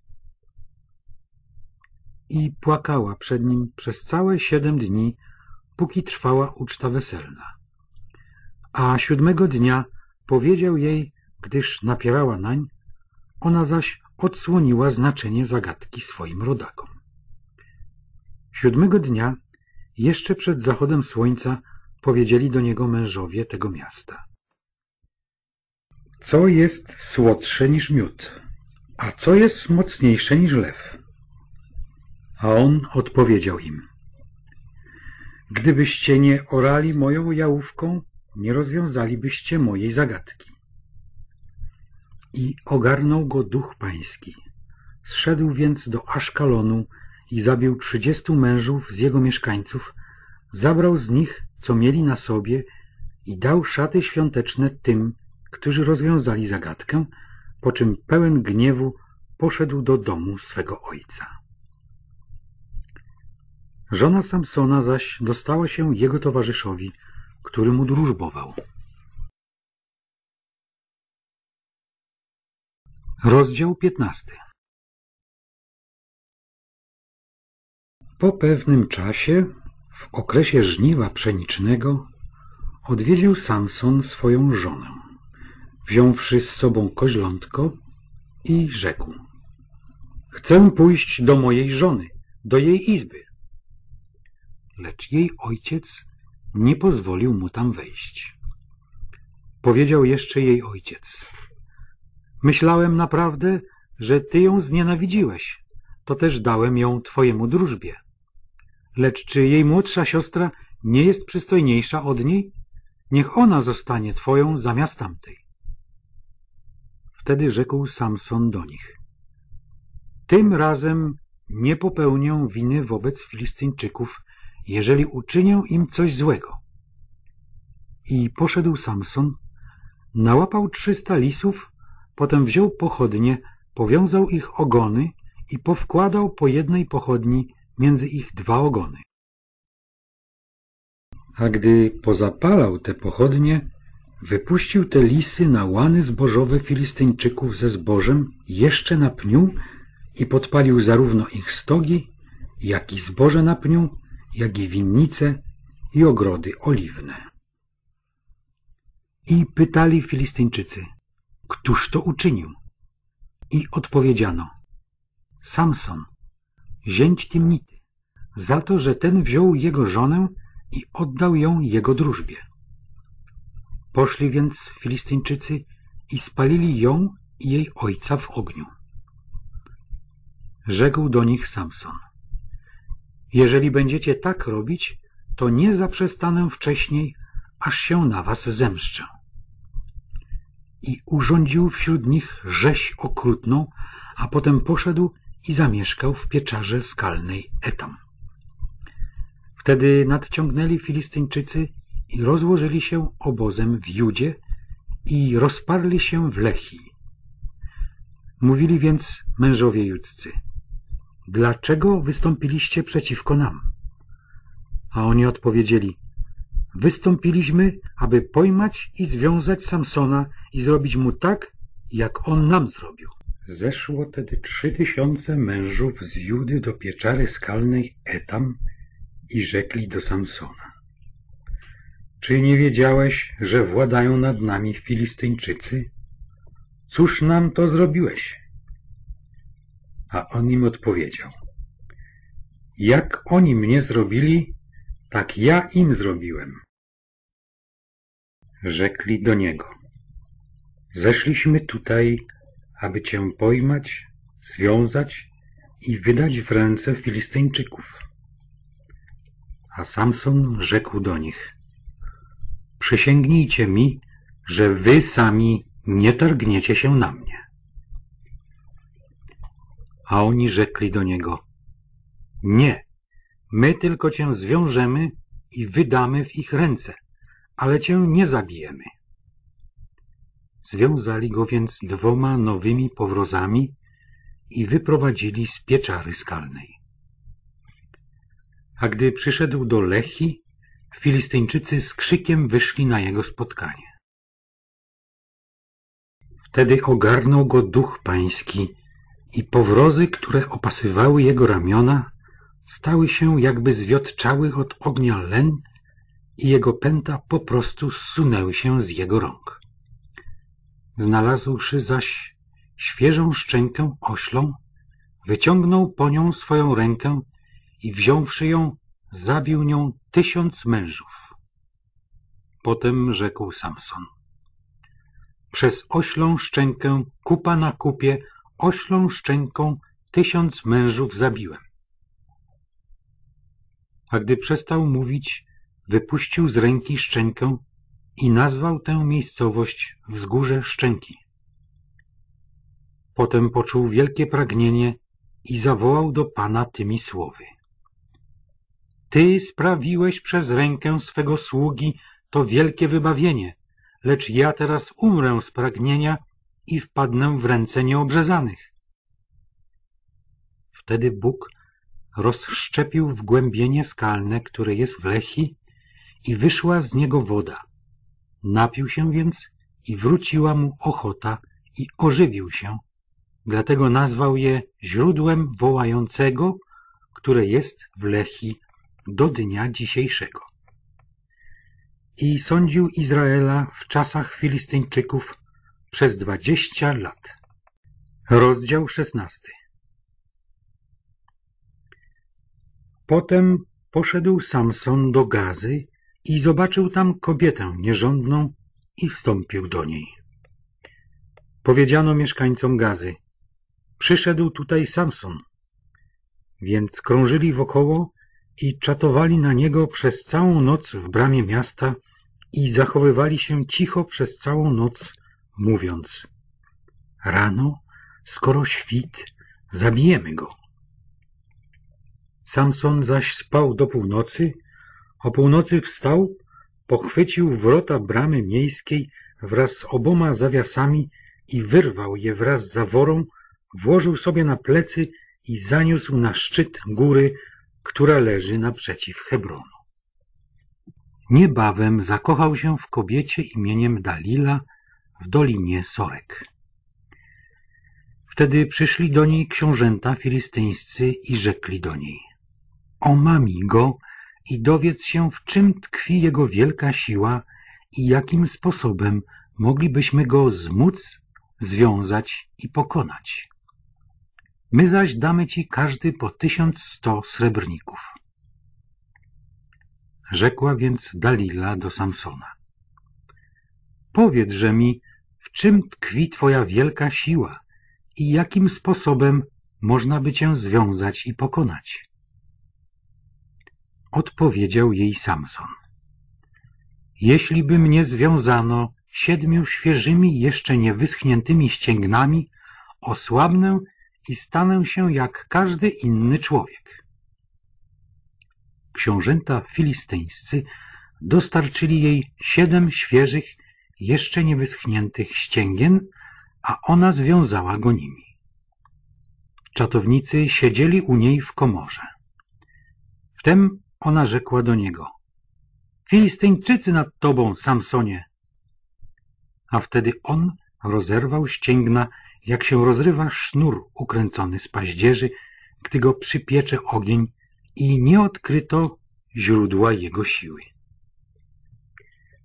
Wtedy powiedziała Dalila do Samsona — Oto oszukałeś mnie i okłamałeś, lecz teraz powiedz mi naprawdę, czym można cię związać? I rzekł do niej, jeśli by mnie związali nowymi powrozami, którymi jeszcze nie wykonano żadnej roboty, osłabnę i stanę się jak każdy inny człowiek. Wtedy Dalila wzięła nowe powrozy, związała go nimi i rzekła do niego. Filistyńczycy nad tobą, Samsonie! a czatownicy siedzieli w komorze. On zaś zerwał je ze swoich ramion jak nici. Rzekła więc Dalila do Samsona. Dotychczas natrząsałeś się ze mnie i skłamałeś przede mną.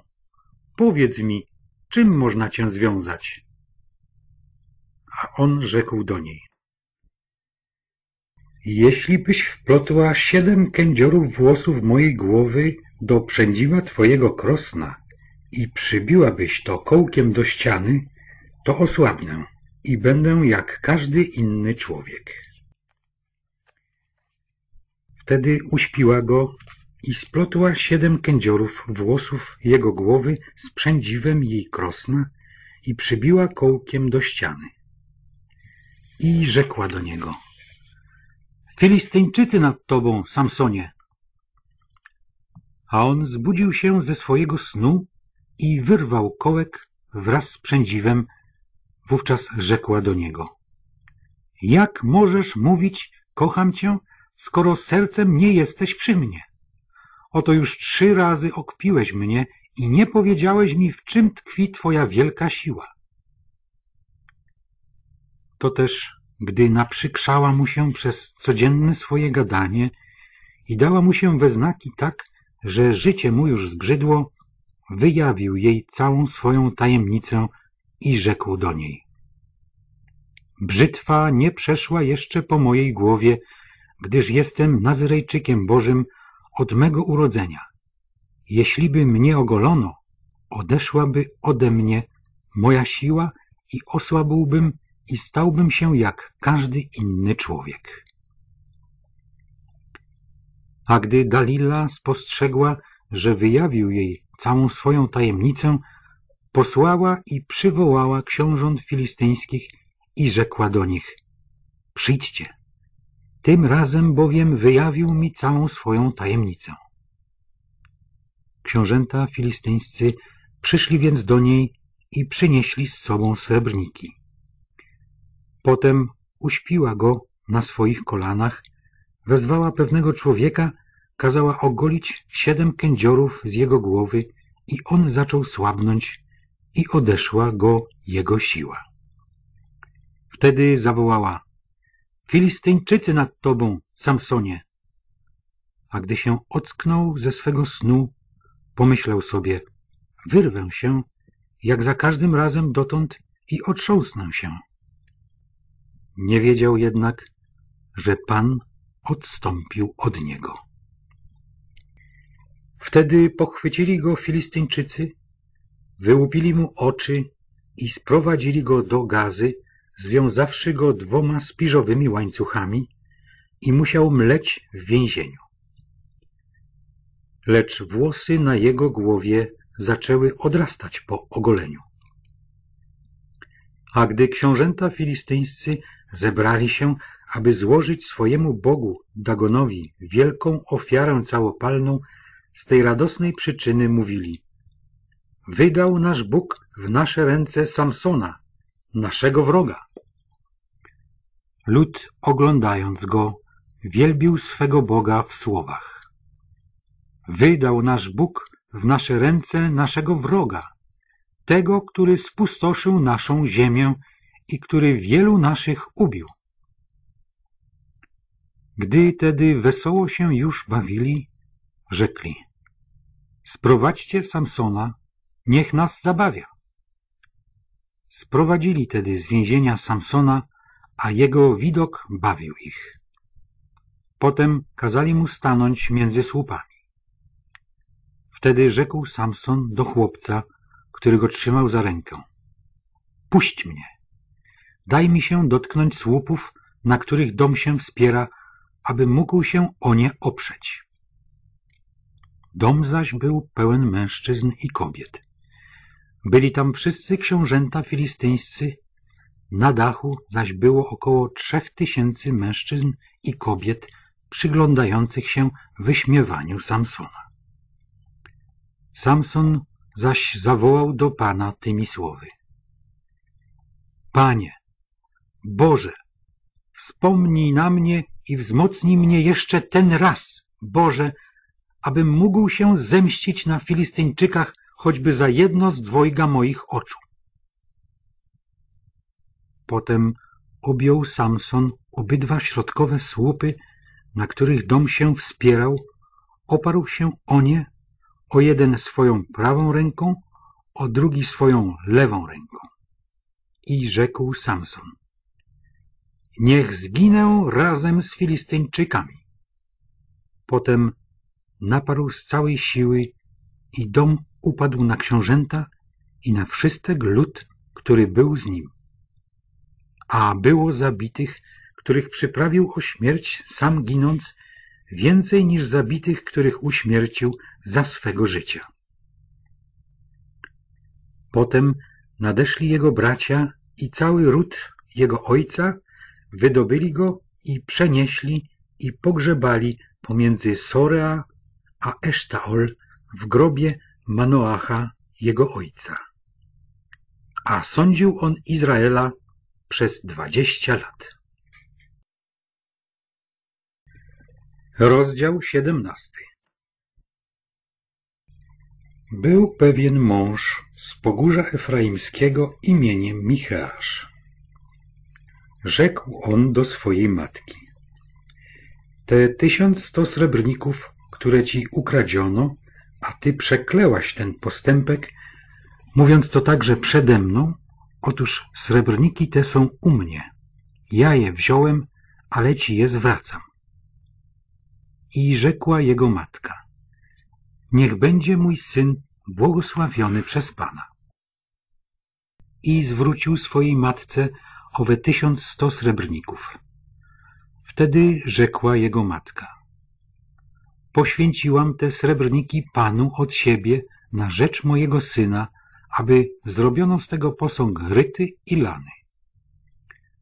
Zwrócił więc owe srebrniki swojej matce.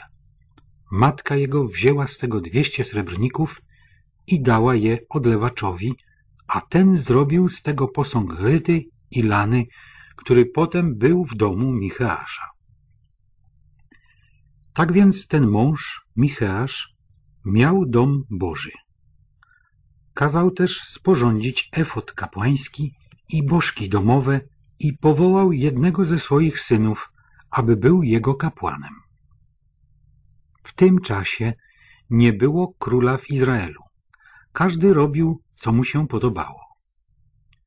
Był też pewien młodzieniec z Betlejemu Judzkiego, z rodu Judy, Lewita, który tam przebywał jako obcy przybysz. Mąż ten wyszedł ze swojego miasta Betlejemu Judzkiego, aby osiedlić się jako obcy przybysz gdziekolwiek się nadarzy. Wędrując tak, przyszedł na pogórze efraimskie do domu Micheasza. I rzekł do niego Micheasz, skąd przybywasz? A ten odpowiedział, jestem lewitą z Betlejemu Judzkiego, a idę, aby osiedlić się jako obcy przybysz gdziekolwiek się nadarzy. I rzekł do niego Micheasz, zamieszkaj u mnie i bądź mi ojcem i kapłanem. Dam ci za to dziesięć srebrników rocznie, odzienie i żywność. I przymusił Lewitę. Zgodził się tedy Lewita pozostać u tego męża i młodzieniec ten był dlań jak jeden z jego synów. Michałasz powołał tego Lewitę i młodzieniec ten został jego kapłanem i pozostał w domu Micheasza. Wtedy Micheasz rzekł, teraz wiem, że Pan będzie mnie darzył powodzeniem, gdyż Lewita został u mnie kapłanem.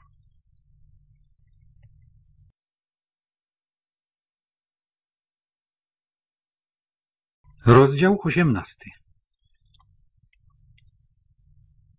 W tym czasie nie było jeszcze króla w Izraelu. W tym też czasie plemię Dana szukało sobie dziedzictwa, aby się osiedlić, gdyż dotychczas nie przypadło mu w udziale żadne dziedzictwo wśród plemion izraelskich. Wyprawili tedy synowie Dana pięciu mężów ze swoich rodzin, ze swoich okręgów, mężów nader dzielnych, z Sorea i Esztaol, celem przeszpiegowania ziemi i przebadania jej i rzekli do nich. Idźcie, przebadajcie ziemię. I oni doszli do pogórza Efraimskiego, aż do domu Micheasza i zatrzymali się tam przez noc. A gdy byli w pobliżu domu Micheasza, poznali głos młodzieńca Lewity, wstąpili tam więc i rzekli do niego. Kto cię tutaj sprowadził? Co tutaj robisz? I co tu masz za sprawę? A on im odpowiedział. Tak, a tak postąpił ze mną Micheasz, wynajął mnie sobie i zostałem u niego kapłanem. A oni rzekli do niego. Zapytaj się Boga, abyśmy się dowiedzieli, czy powiedzie nam się ta droga, w którą się wybraliśmy. I rzekł do nich kapłan, idźcie w pokoju, pod opieką Pana jest wasza droga, w którą się wybraliście. Szło tedy tych pięciu mężów dalej i przybyli do Laisz. I zobaczyli, że lud, który w nim mieszka, żył beztrosko na modłę Sydończyków, cicho i spokojnie, że niczego im nie brakowało z tego, co jest na ziemi, owszem, nawet mieli dostatki. Będąc zaś z dala od Sydończyków, z nikim też nie mieli żadnej sprawy spornej. Gdy więc powrócili do swoich braci w Sorea i w Esztaol, rzekli do nich ich bracia. Co powiecie? A oni na to. Nurze, ruszmy na nich. Widzieliśmy bowiem tę ziemię, że jest bardzo urodzajna. Czy jeszcze chcecie zwlekać? Nie lęcie się pójść i zająć tę ziemię. Gdy ruszycie, to dojdziecie do ludu beztroskiego, do ziemi przestronnej. Bóg dał ją w wasze ręce jako miejsce, gdzie nie brak niczego z tych rzeczy, które są na ziemi. Wyruszył więc stamtąd ród Dana, Sorea i Esztaol w liczbie sześciuset mężów w rynsztunku bojowym. Pociągnęli i rozłożyli się obozem przy Kirjat Jearim w Judzie. Dlatego miejscowość ta zwie się obozem Dana aż do dnia dzisiejszego, a leży ona na zachód od Kirjat Jearim. Stamtąd przeszli na pogórze efraimskie i doszli pod sam dom Michała. Wtedy odezwało się tych pięciu mężów, którzy wyruszyli, aby przeszpiegować ziemię Laisz i rzekli do swoich braci. Czy wiecie, że w tych zabudowaniach znajduje się efot kapłański i bożki domowe i posąg gryty i lany? Wiedzcie więc, jak macie postąpić. Skierowali się więc tam i wstąpili do domu młodzieńca Lewity, do domu Micheasza i zapytali o jego zdrowie. A sześciuset mężów w rynsztunku bojowym, Danitów, stało u wejścia bramy. Owych pięciu mężów zaś, którzy wyszli, aby przeszpiegować ziemię, wstąpiło tam, zabrało posąg i efot kapłański i bożki domowe i posąg lany. Kapłan stał u wejścia bramy, podobnie jak tych sześciuset mężów w rynsztunku bojowym. Gdy zaś oni weszli do domu Micheasza i zabierali posąg i efot kapłański i bożki domowe i posąg lany, rzekł do nich kapłan. Cóż to robicie? A oni mu odpowiedzieli. Zamilknij. Połóż dłoń swoją na usta swoje i chodź z nami i zostań u nas ojcem i kapłanem. Czy lepiej ci być kapłanem w domu jednego człowieka, niż być kapłanem całego plemienia i rodów Izraelu? Udobruchał się więc kapłan i zabrał efot kapłański i bożki domowe i posąg i przyłączył się do zbrojnego ludu. Potem zawrócili i ruszyli, wysunąwszy naprzód dzieci i bydło i swój dobytek. Zaledwie jednak oddalili się od domu Micheasza, skrzyknęli się mężowie z zabudowań obok domu Micheasza i dopędzili synów Dana i wołali za synami Dana. Ci zaś odwrócili się i rzekli do Micheasza. O co ci chodzi, że skrzyknąłeś swoich koło siebie? A on odpowiedział. Zabraliście mi mojego Boga, którego sobie zrobiłem i kapłana i odchodzicie. Cóż mi jeszcze pozostało? Jak więc możecie mówić do mnie, o co ci chodzi? A synowie Dana rzekli do niego. Niech twój głos już się wśród nas nie rozlega, bo inaczej natrą na was rozgoryczeni mężowie i utracisz swoje życie wraz z życiem swojej rodziny. Gdy potem synowie Dana ruszyli w dalszą drogę, Michałasz widział, że oni są od niego silniejsi, zawrócił więc i poszedł do swojego domu. Tamci zaś zabrali to, co sobie sporządził Micheasz oraz kapłana, którego miał, i ruszyli na Laisz, na lud beztroski i bezpieczny, i wybili ich ostrzem miecza, miasto zaś spalili, a nikt nie przyszedł im z pomocą, gdyż miasto było oddalone od Sydonu, a oni nie utrzymywali z nikim stosunków. Miasto to leżało w dolinie ciągnącej się ku Bet Rehob. Lecz oni odbudowali to miasto i zamieszkali w nim. Miastu temu nadali nazwę Dan od imienia ich ojca Dana, który się urodził Izraelowi. Poprzednio miasto to nazywało się Laisz.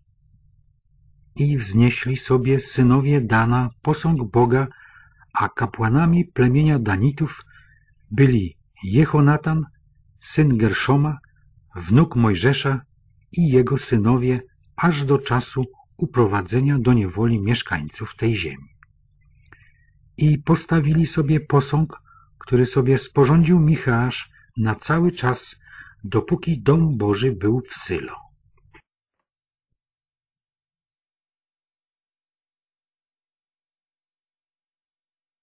Rozdział dziewiętnasty W tymże czasie, a nie było jeszcze wtedy króla w Izraelu, żył na skraju pogórza Efraimskiego jako obcy przybysz pewien mąż, Lewita, który wziął sobie nałożnicę z Betlejemu Judzkiego. Ta jego nałożnica poróżniła się z nim i odeszła od niego do domu swego ojca do Betlejemu Judzkiego i przebywała tam przez cztery miesiące. Wybrał się tedy za nią jej mąż, aby ją nakłonić do powrotu. Miał ze sobą parobka i parę osłów. A gdy ona wprowadziła go do domu swego ojca, zobaczywszy go, ucieszył się ojciec owej dziewczyny, że się z nim spotkał. I zatrzymał go u siebie jego teść, ojciec dziewczyny, więc zamieszkał tam przez trzy dni i jedli, pili i nocowali tam. Czwartego dnia wstali wcześnie rano, aby wybrać się w drogę, a wtedy ojciec dziewczyny rzekł do swego zięcia. Posil się kromką chleba, a potem pojedziecie. Usiedli więc i jedli, i pili, obaj razem, po czym ojciec dziewczyny rzekł do tamtego. Zechciej pozostać jeszcze przez noc i bądź dobrej myśli. Lecz tamten zabierał się do odejścia. Wtedy jego teść nalegał nań, więc znów tam przenocował.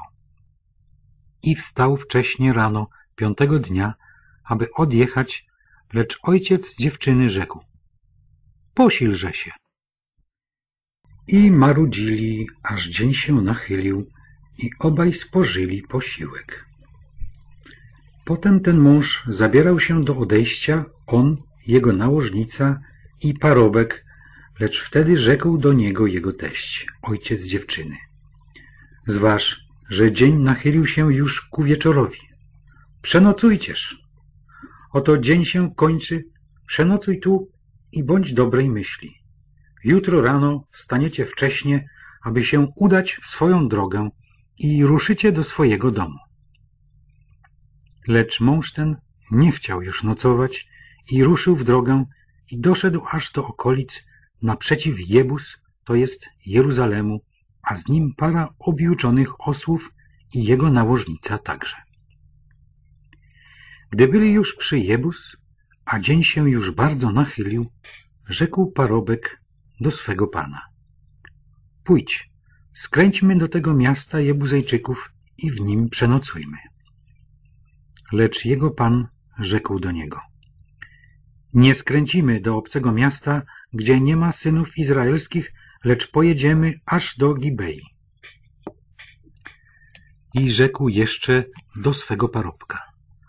Starajmy się dojechać do jednej z tych miejscowości i przenocujmy w Gibei lub w Ramie. I jechali dalej, a słońce zaszło, gdy byli tuż pod Gibeą, która należy do Beniaminitów. I skręcili, aby tam dojść i przenocować w Gibei. Gdy doszli, musieli zatrzymać się na placu miejskim, gdyż nie było nikogo, kto by ich przyjął do swego domu na nocleg. Wtem pewien stary człowiek wracał wieczorem od swojej pracy z pola. A człowiek ten pochodził z pogórza efraimskiego, tu zaś w Gibei był obcym przybyszem, podczas gdy mieszkańcy tej miejscowości byli Beniaminitami. Gdy podniósł swoje oczy i ujrzał podróżnych na placu miejskim, ten stary człowiek rzekł. Dokąd idziesz i skąd przychodzisz? A on mu odpowiedział. Jedziemy z Betlejemu judzkiego na skraj pogórza Efraimskiego. Stamtąd jestem, a szedłem aż do Betlejemu judzkiego, teraz zaś wracam do domu, lecz nie ma tu nikogo, kto by mnie przyjął do swego domu. A przecież mamy i sieczkę, i siano dla naszych osłów, mam też chleb i wino dla siebie i dla Twojej służebnicy i dla parobka u Twoich sług, niczego mi nie brak. Wtedy odpowiedział ten stary człowiek. Pokój ci. Troska o Twoje braki to moja sprawa, tylko na placu przez noc nie pozostawaj. I sprowadził go do swojego domu, dał obrok jego osłom, a gdy umyli swoje nogi, jedli i pili. A gdy sobie potochocili, oto niektórzy mieszkańcy miasta, ludzie niegodziwi, obstąpili dom i zaczęli kołatać do drzwi i wołać na sędziwego gospodarza domu. Wyprowadź męża, który wszedł do twojego domu, a będziemy z nim cieleśnie obcowali. Wtedy wyszedł do nich gospodarz domu i rzekł. Nie, bracia moi, nie popełniajcie tego zła. Przecież ten mąż wszedł do mojego domu. Nie czyńcie tej niegodziwości. Oto córkę moją, pannę i nałożnicę tamtego wyprowadzę. Je zgwałćcie i z nimi zróbcie, co się wam podoba, lecz mężowi temu nie czyńcie tej niegodziwości. Lecz mężowie ci nie chcieli go usłuchać, więc ten mąż wziął jego nałożnicę i wyprowadził ją do nich na dwór. Obcowali z nią cieleśnie i gwałcili ją przez całą noc aż do rana, a puścili ją dopiero, gdy wschodziła zorza. A gdy o świcie kobieta ta przyszła, padła u drzwi domu człowieka, u którego był jej pan i leżała tam, aż się rozwidniło. A gdy rano jej pan wstał i otworzył drzwi i wyszedł, aby ruszyć w dalszą drogę, oto kobieta, jego nałożnica, leżała u drzwi domu z rękami na progu. Rzekł więc do niej, wstań, pojedziemy. A ona nie odezwała się. Posadził ją więc ten mąż na osła i ruszył w drogę do swojej miejscowości. A gdy przyszedł do swojego domu, wziął nóż, pochwycił swoją nałożnicę i pokrajał ją członek za członkiem na dwanaście kawałów i rozesłał po całym obszarze Izraela.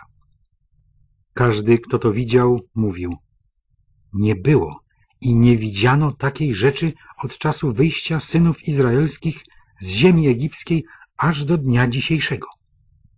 Rozważcie to sobie, naradźcie się i rozpowiadajcie. Rozdział dwudziesty Wtedy wyruszyli wszyscy synowie izraelscy i zgromadził się zbór jak jeden mąż od Dan aż po Beerszebę, także i ziemia gileacka przed Panem w Mispa. I stawili się przywódcy całego ludu, wszystkich plemion izraelskich w zgromadzeniu ludu Bożego, czterysta tysięcy mężów pieszych, zbrojnych w miecze. To też Beniaminici usłyszeli, że synowie izraelscy pociągnęli do Mispy.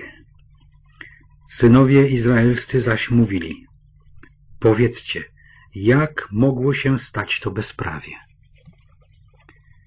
I odezwał się mąż Lewita, mąż tej zamordowanej kobiety w te słowa. Przyszedłem do Gibei, która należy do Beniaminitów, ja i moja nałożnica, aby przenocować.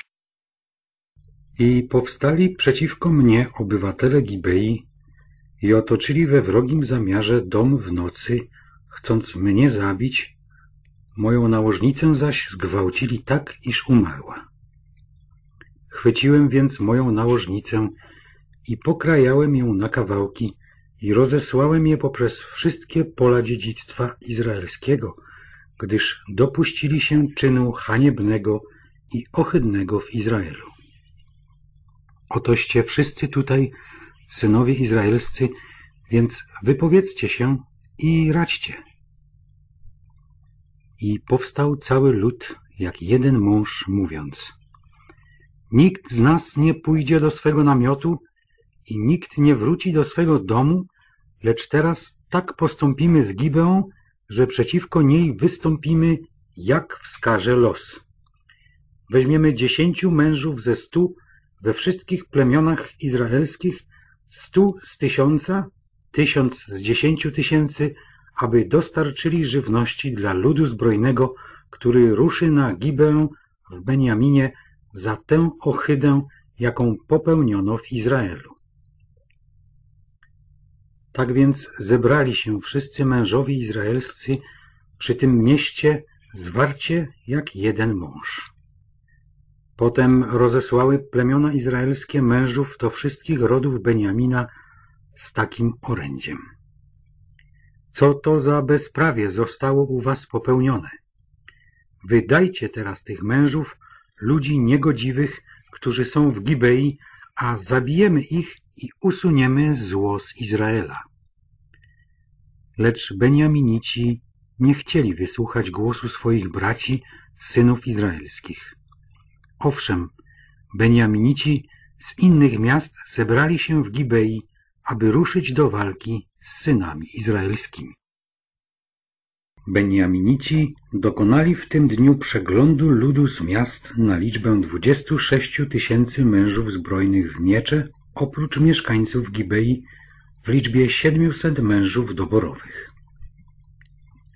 W całym tym zastępie zbrojnym było 700 mężów doborowych, leworękich, każdy z nich trafiał rzuconym z procy kamieniem co do włosa nie chybiając. Oprócz Beniamina dokonano przeglądu 400 tysięcy mężów izraelskich zbrojnych w miecze, a każdy z nich był wojownikiem.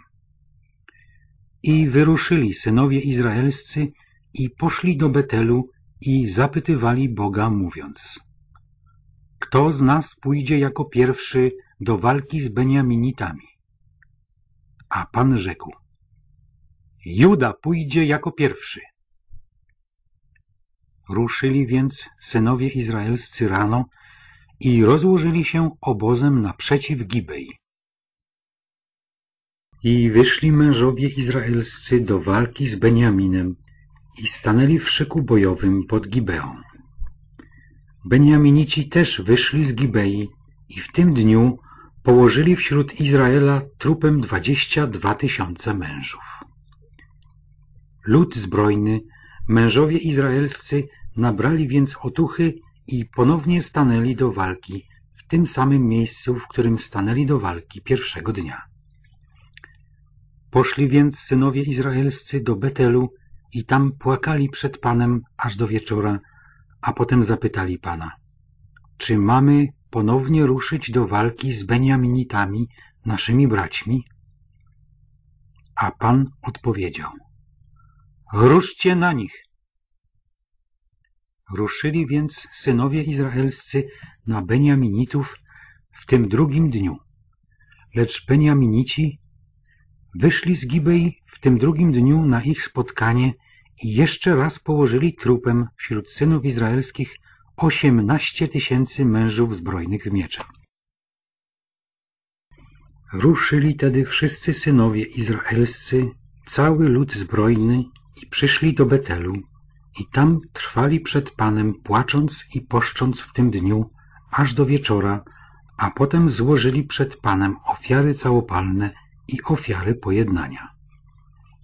I zapytali synowie izraelscy Pana, tam bowiem była w tych czasach skrzynia przymierza Bożego, a Pinechas, syn Eleazara, syna Aarona, sprawował w tych czasach przy niej służbę i zapytali tymi słowy – czy mamy ponownie wyjść do walki z Beniaminitami, naszymi braćmi, czy też tego zaniechać? A Pan odpowiedział, ruszcie, gdyż jutro wydam ich w wasze ręce. Wtedy urządzili Izraelici wokół całej Gibei zasadzki.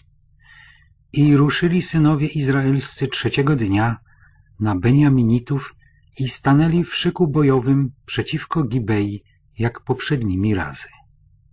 Gdy zaś Beniaminici wyszli naprzeciw zbrojnego ludu, zostali odciągnięci od miasta i zaczęli bić niektórych ze zbrojnego ludu, jak poprzednimi razy po drogach, z których jedna prowadzi do Betelu, a druga do Gibei, kładąc trupem około trzydziestu ludzi, mężów z Izraela. Myśleli zaś Beniaminici, bici są przez nas jak poprzednio. Izraelici wszakże umówili się. Uciekajmy i odciągnijmy ich od miasta na drogi. Wszyscy wojownicy izraelscy wycofali się ze swoich stanowisk i stanęli w szyku bojowym dopiero w Baal Tamar, podczas gdy zasadzki izraelskie wyłoniły się ze swego ukrycia w pobliżu Gibei. I dziesięć tysięcy doborowych mężów z całego Izraela natarło z przodu na Gibeę i wywiązała się ciężka walka, a tamci nawet nie wiedzieli, że spotyka ich klęska. I ugodził Pan Beniamina wobec Izraela i wytracili synowie izraelscy w tym dniu wśród Beniaminitów dwadzieścia pięć tysięcy mężów samych zbrojnych w miecze. Wtedy dopiero ujrzeli Beniaminici, że zostali pobici. Wojownicy izraelscy bowiem ustąpili miejsca Beniaminitom, gdyż polegali na zasadzce, którą urządzili przeciw Gibei. A ci, którzy byli w zasadzce, szybko wypadli na Gibeę, nadciągnęli i wybili całe miasto ostrzem miecza. A był umówiony znak między wojownikami izraelskimi, a tymi, którzy byli w zasadzce, że ci puszczą z miasta w górę potężny kłąb dymu. Gdy tedy wojownicy izraelscy zawrócili do bitwy, a Beniaminici początkowo położyli trupem około trzydziestu mężów spośród wojowników izraelskich, myśleli bowiem, zaiste bici są przez nas jak w poprzedniej bitwie. Wówczas zaczął się z miasta wznosić ku górze słup dymu. I gdy Beniaminici spojrzeli za siebie, oto całe miasto płonęło aż po niebo. Że zaś wojownicy izraelscy zawrócili, Przerazili się wojownicy Beniamina, widząc, że spotyka ich klęska. To też w ucieczce przed wojownikami izraelskimi skierowali się na drogę wiodącą na pustynię. Lecz bitwa i tam ich dosięgła, a ci, którzy byli z innych miast, wybili ich pośród siebie. Otoczyli bowiem Beniaminitów i ścigali ich i deptali im po piętach od Nochach aż do okolic na wschód od Gibei. I padło z Beniaminitów osiemnaście tysięcy mężów, samych dzielnych wojowników. Inni zaś zawrócili i uciekali na pustynię ku skale Rimmon. Tamci jednak wyłapali z nich na ścieżkach pięć tysięcy mężów i ścigali ich dalej, aż ich wytracili, zabijając z nich dwa tysiące mężów. I było wszystkich poległych z Beniamina w tym dniu dwadzieścia pięć tysięcy mężów zbrojnych w miecze, samych dzielnych wojowników, lecz sześciuset mężów zawróciło i uciekało na pustynię do skały Rimmon i pozostali tam przy skale Rimmon przez okres czterech miesięcy. Wojownicy izraelscy zaś wrócili do Beniaminitów pozostałych jeszcze w mieście i wybili ostrzem miecza ludzi i bydło i w ogóle wszystko, co się znalazło, a także wszystkie napotkane miasta puścili z dymem.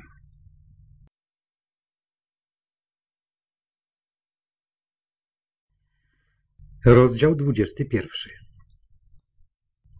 Potem złożyli wojownicy izraelscy w Mispie taką przysięgę. Nikt z nas nie da Beniaminicie swojej córki za żonę. Poszedł też lud do Betelu i pozostali tam przed Panem, aż do wieczora, podnosząc swój głos i rzewnie płacząc i mówiąc Dlaczego, Panie, Boże Izraela, stało się to w Izraelu, że ubyło dziś z Izraela jedno plemię? A wstawszy nazajutrz wcześnie rano, zbudował tam lud ołtarz i złożył ofiary całopalne i ofiary pojednania. Potem rzekli synowie izraelscy. Kto spośród wszystkich plemion izraelskich nie przyszedł na zgromadzenie do Pana? Złożyli bowiem uroczystą przysięgę, że ten, kto nie przyjdzie do Pana do Mispy, poniesie śmierć. I żal było synom izraelskim Beniamina, ich brata, gdy pomyśleli. Dziś zostało odcięte jedno plemię od Izraela. Jak mamy postąpić z tymi, którzy pozostali, aby mogli mieć żony, bośmy przecież poprzysięgli na Pana, że nie damy im naszych córek za żony? I rzekli jeszcze, czy jest jakieś z plemion izraelskich, które nie przyszło do Pana do Mispy? A oto okazało się, że nie przybył do obozu na zgromadzenie nikt z Jabesz Gileackiego, bo gdy zrobiono przegląd ludu, nie było tam nikogo z mieszkańców Jabesz Gileackiego. I wysłał tam zbór dwanaście tysięcy mężów spośród wojowników, dając im taki rozkaz. Idźcie i wybijcie ostrzem miecza mieszkańców Jabesz Gileackiego wraz z niewiastami i dziećmi. Lecz postąpcie tak. Każdego mężczyznę i każdą niewiastę, która już obcowała z mężczyzną, obłożycie klątwą. Lecz znalazło się wśród mieszkańców Jabesz Gileackiego czterysta dziewcząt, które jeszcze nie obcowały cieleśnie z mężczyzną i te przyprowadzili do obozu do Sylo, które jest w ziemi kananejskiej. Posłali więc cały zbór wiadomość do Beniaminitów, którzy byli przy skale Rimmon i obwieścili im pokój. W tym czasie powrócili Beniaminici i tym dali za żony kobiety, które ostały się żywe spośród kobiet Jabesz Gileackiego lecz nie wystarczyło ich dla nich. I żal było ludowi Beniaminitów, że Pan uczynił wyrwę wśród plemion izraelskich. Wtedy rzekli starsi zboru. Jak mamy postąpić z pozostałymi, aby mogli mieć żony, jako że kobiety Beniamina zostały wytracone? Rzekli ponadto. Jak mają ostać się ci, którzy ocaleli z Beniamina, aby nie zostało starte jedno plemię z Izraela? Bo przecie my nie możemy dać im naszych córek za żony, gdyż tak przysięgli synowie izraelscy, przeklęty ten, kto da żonę Beniaminowi. Rzekli więc, Oto rokrocznie odbywa się święto Pana w Sylo, które leży na północ od Betelu, a na wschód od drogi wiodącej z Betelu do Sychemu, a na południe od Lebona. I dali Beniaminitom takie polecenie. Idźcie i przyczajcie się w winnicach i baczcie.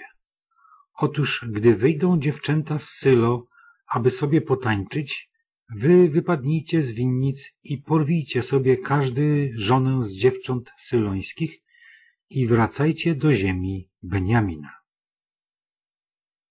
Gdy potem przyjdą do nas ich ojcowie lub bracia na skargę, my powiemy im. Zlitujcie się nad nimi ze względu na nas, gdyż nikt z nich nie wziął swojej żony w walce, ani też wy im nie daliście. Inaczej bylibyście teraz winni. Beniaminici uczynili tak i wzięli sobie żony, ilu ich było spośród tych, które tańczyły, a które porwali. Potem odeszli, wracając do swoich dziedzicznych posiadłości, odbudowali miasta i zamieszkali w nich. Także synowie izraelscy rozeszli się stamtąd w tym czasie, każdy do swego plemienia i do swojej rodziny. Odeszli stamtąd każdy do dziedzicznej posiadłości swojej. W tym czasie nie było jeszcze króla w Izraelu, każdy robił, co mu się podobało.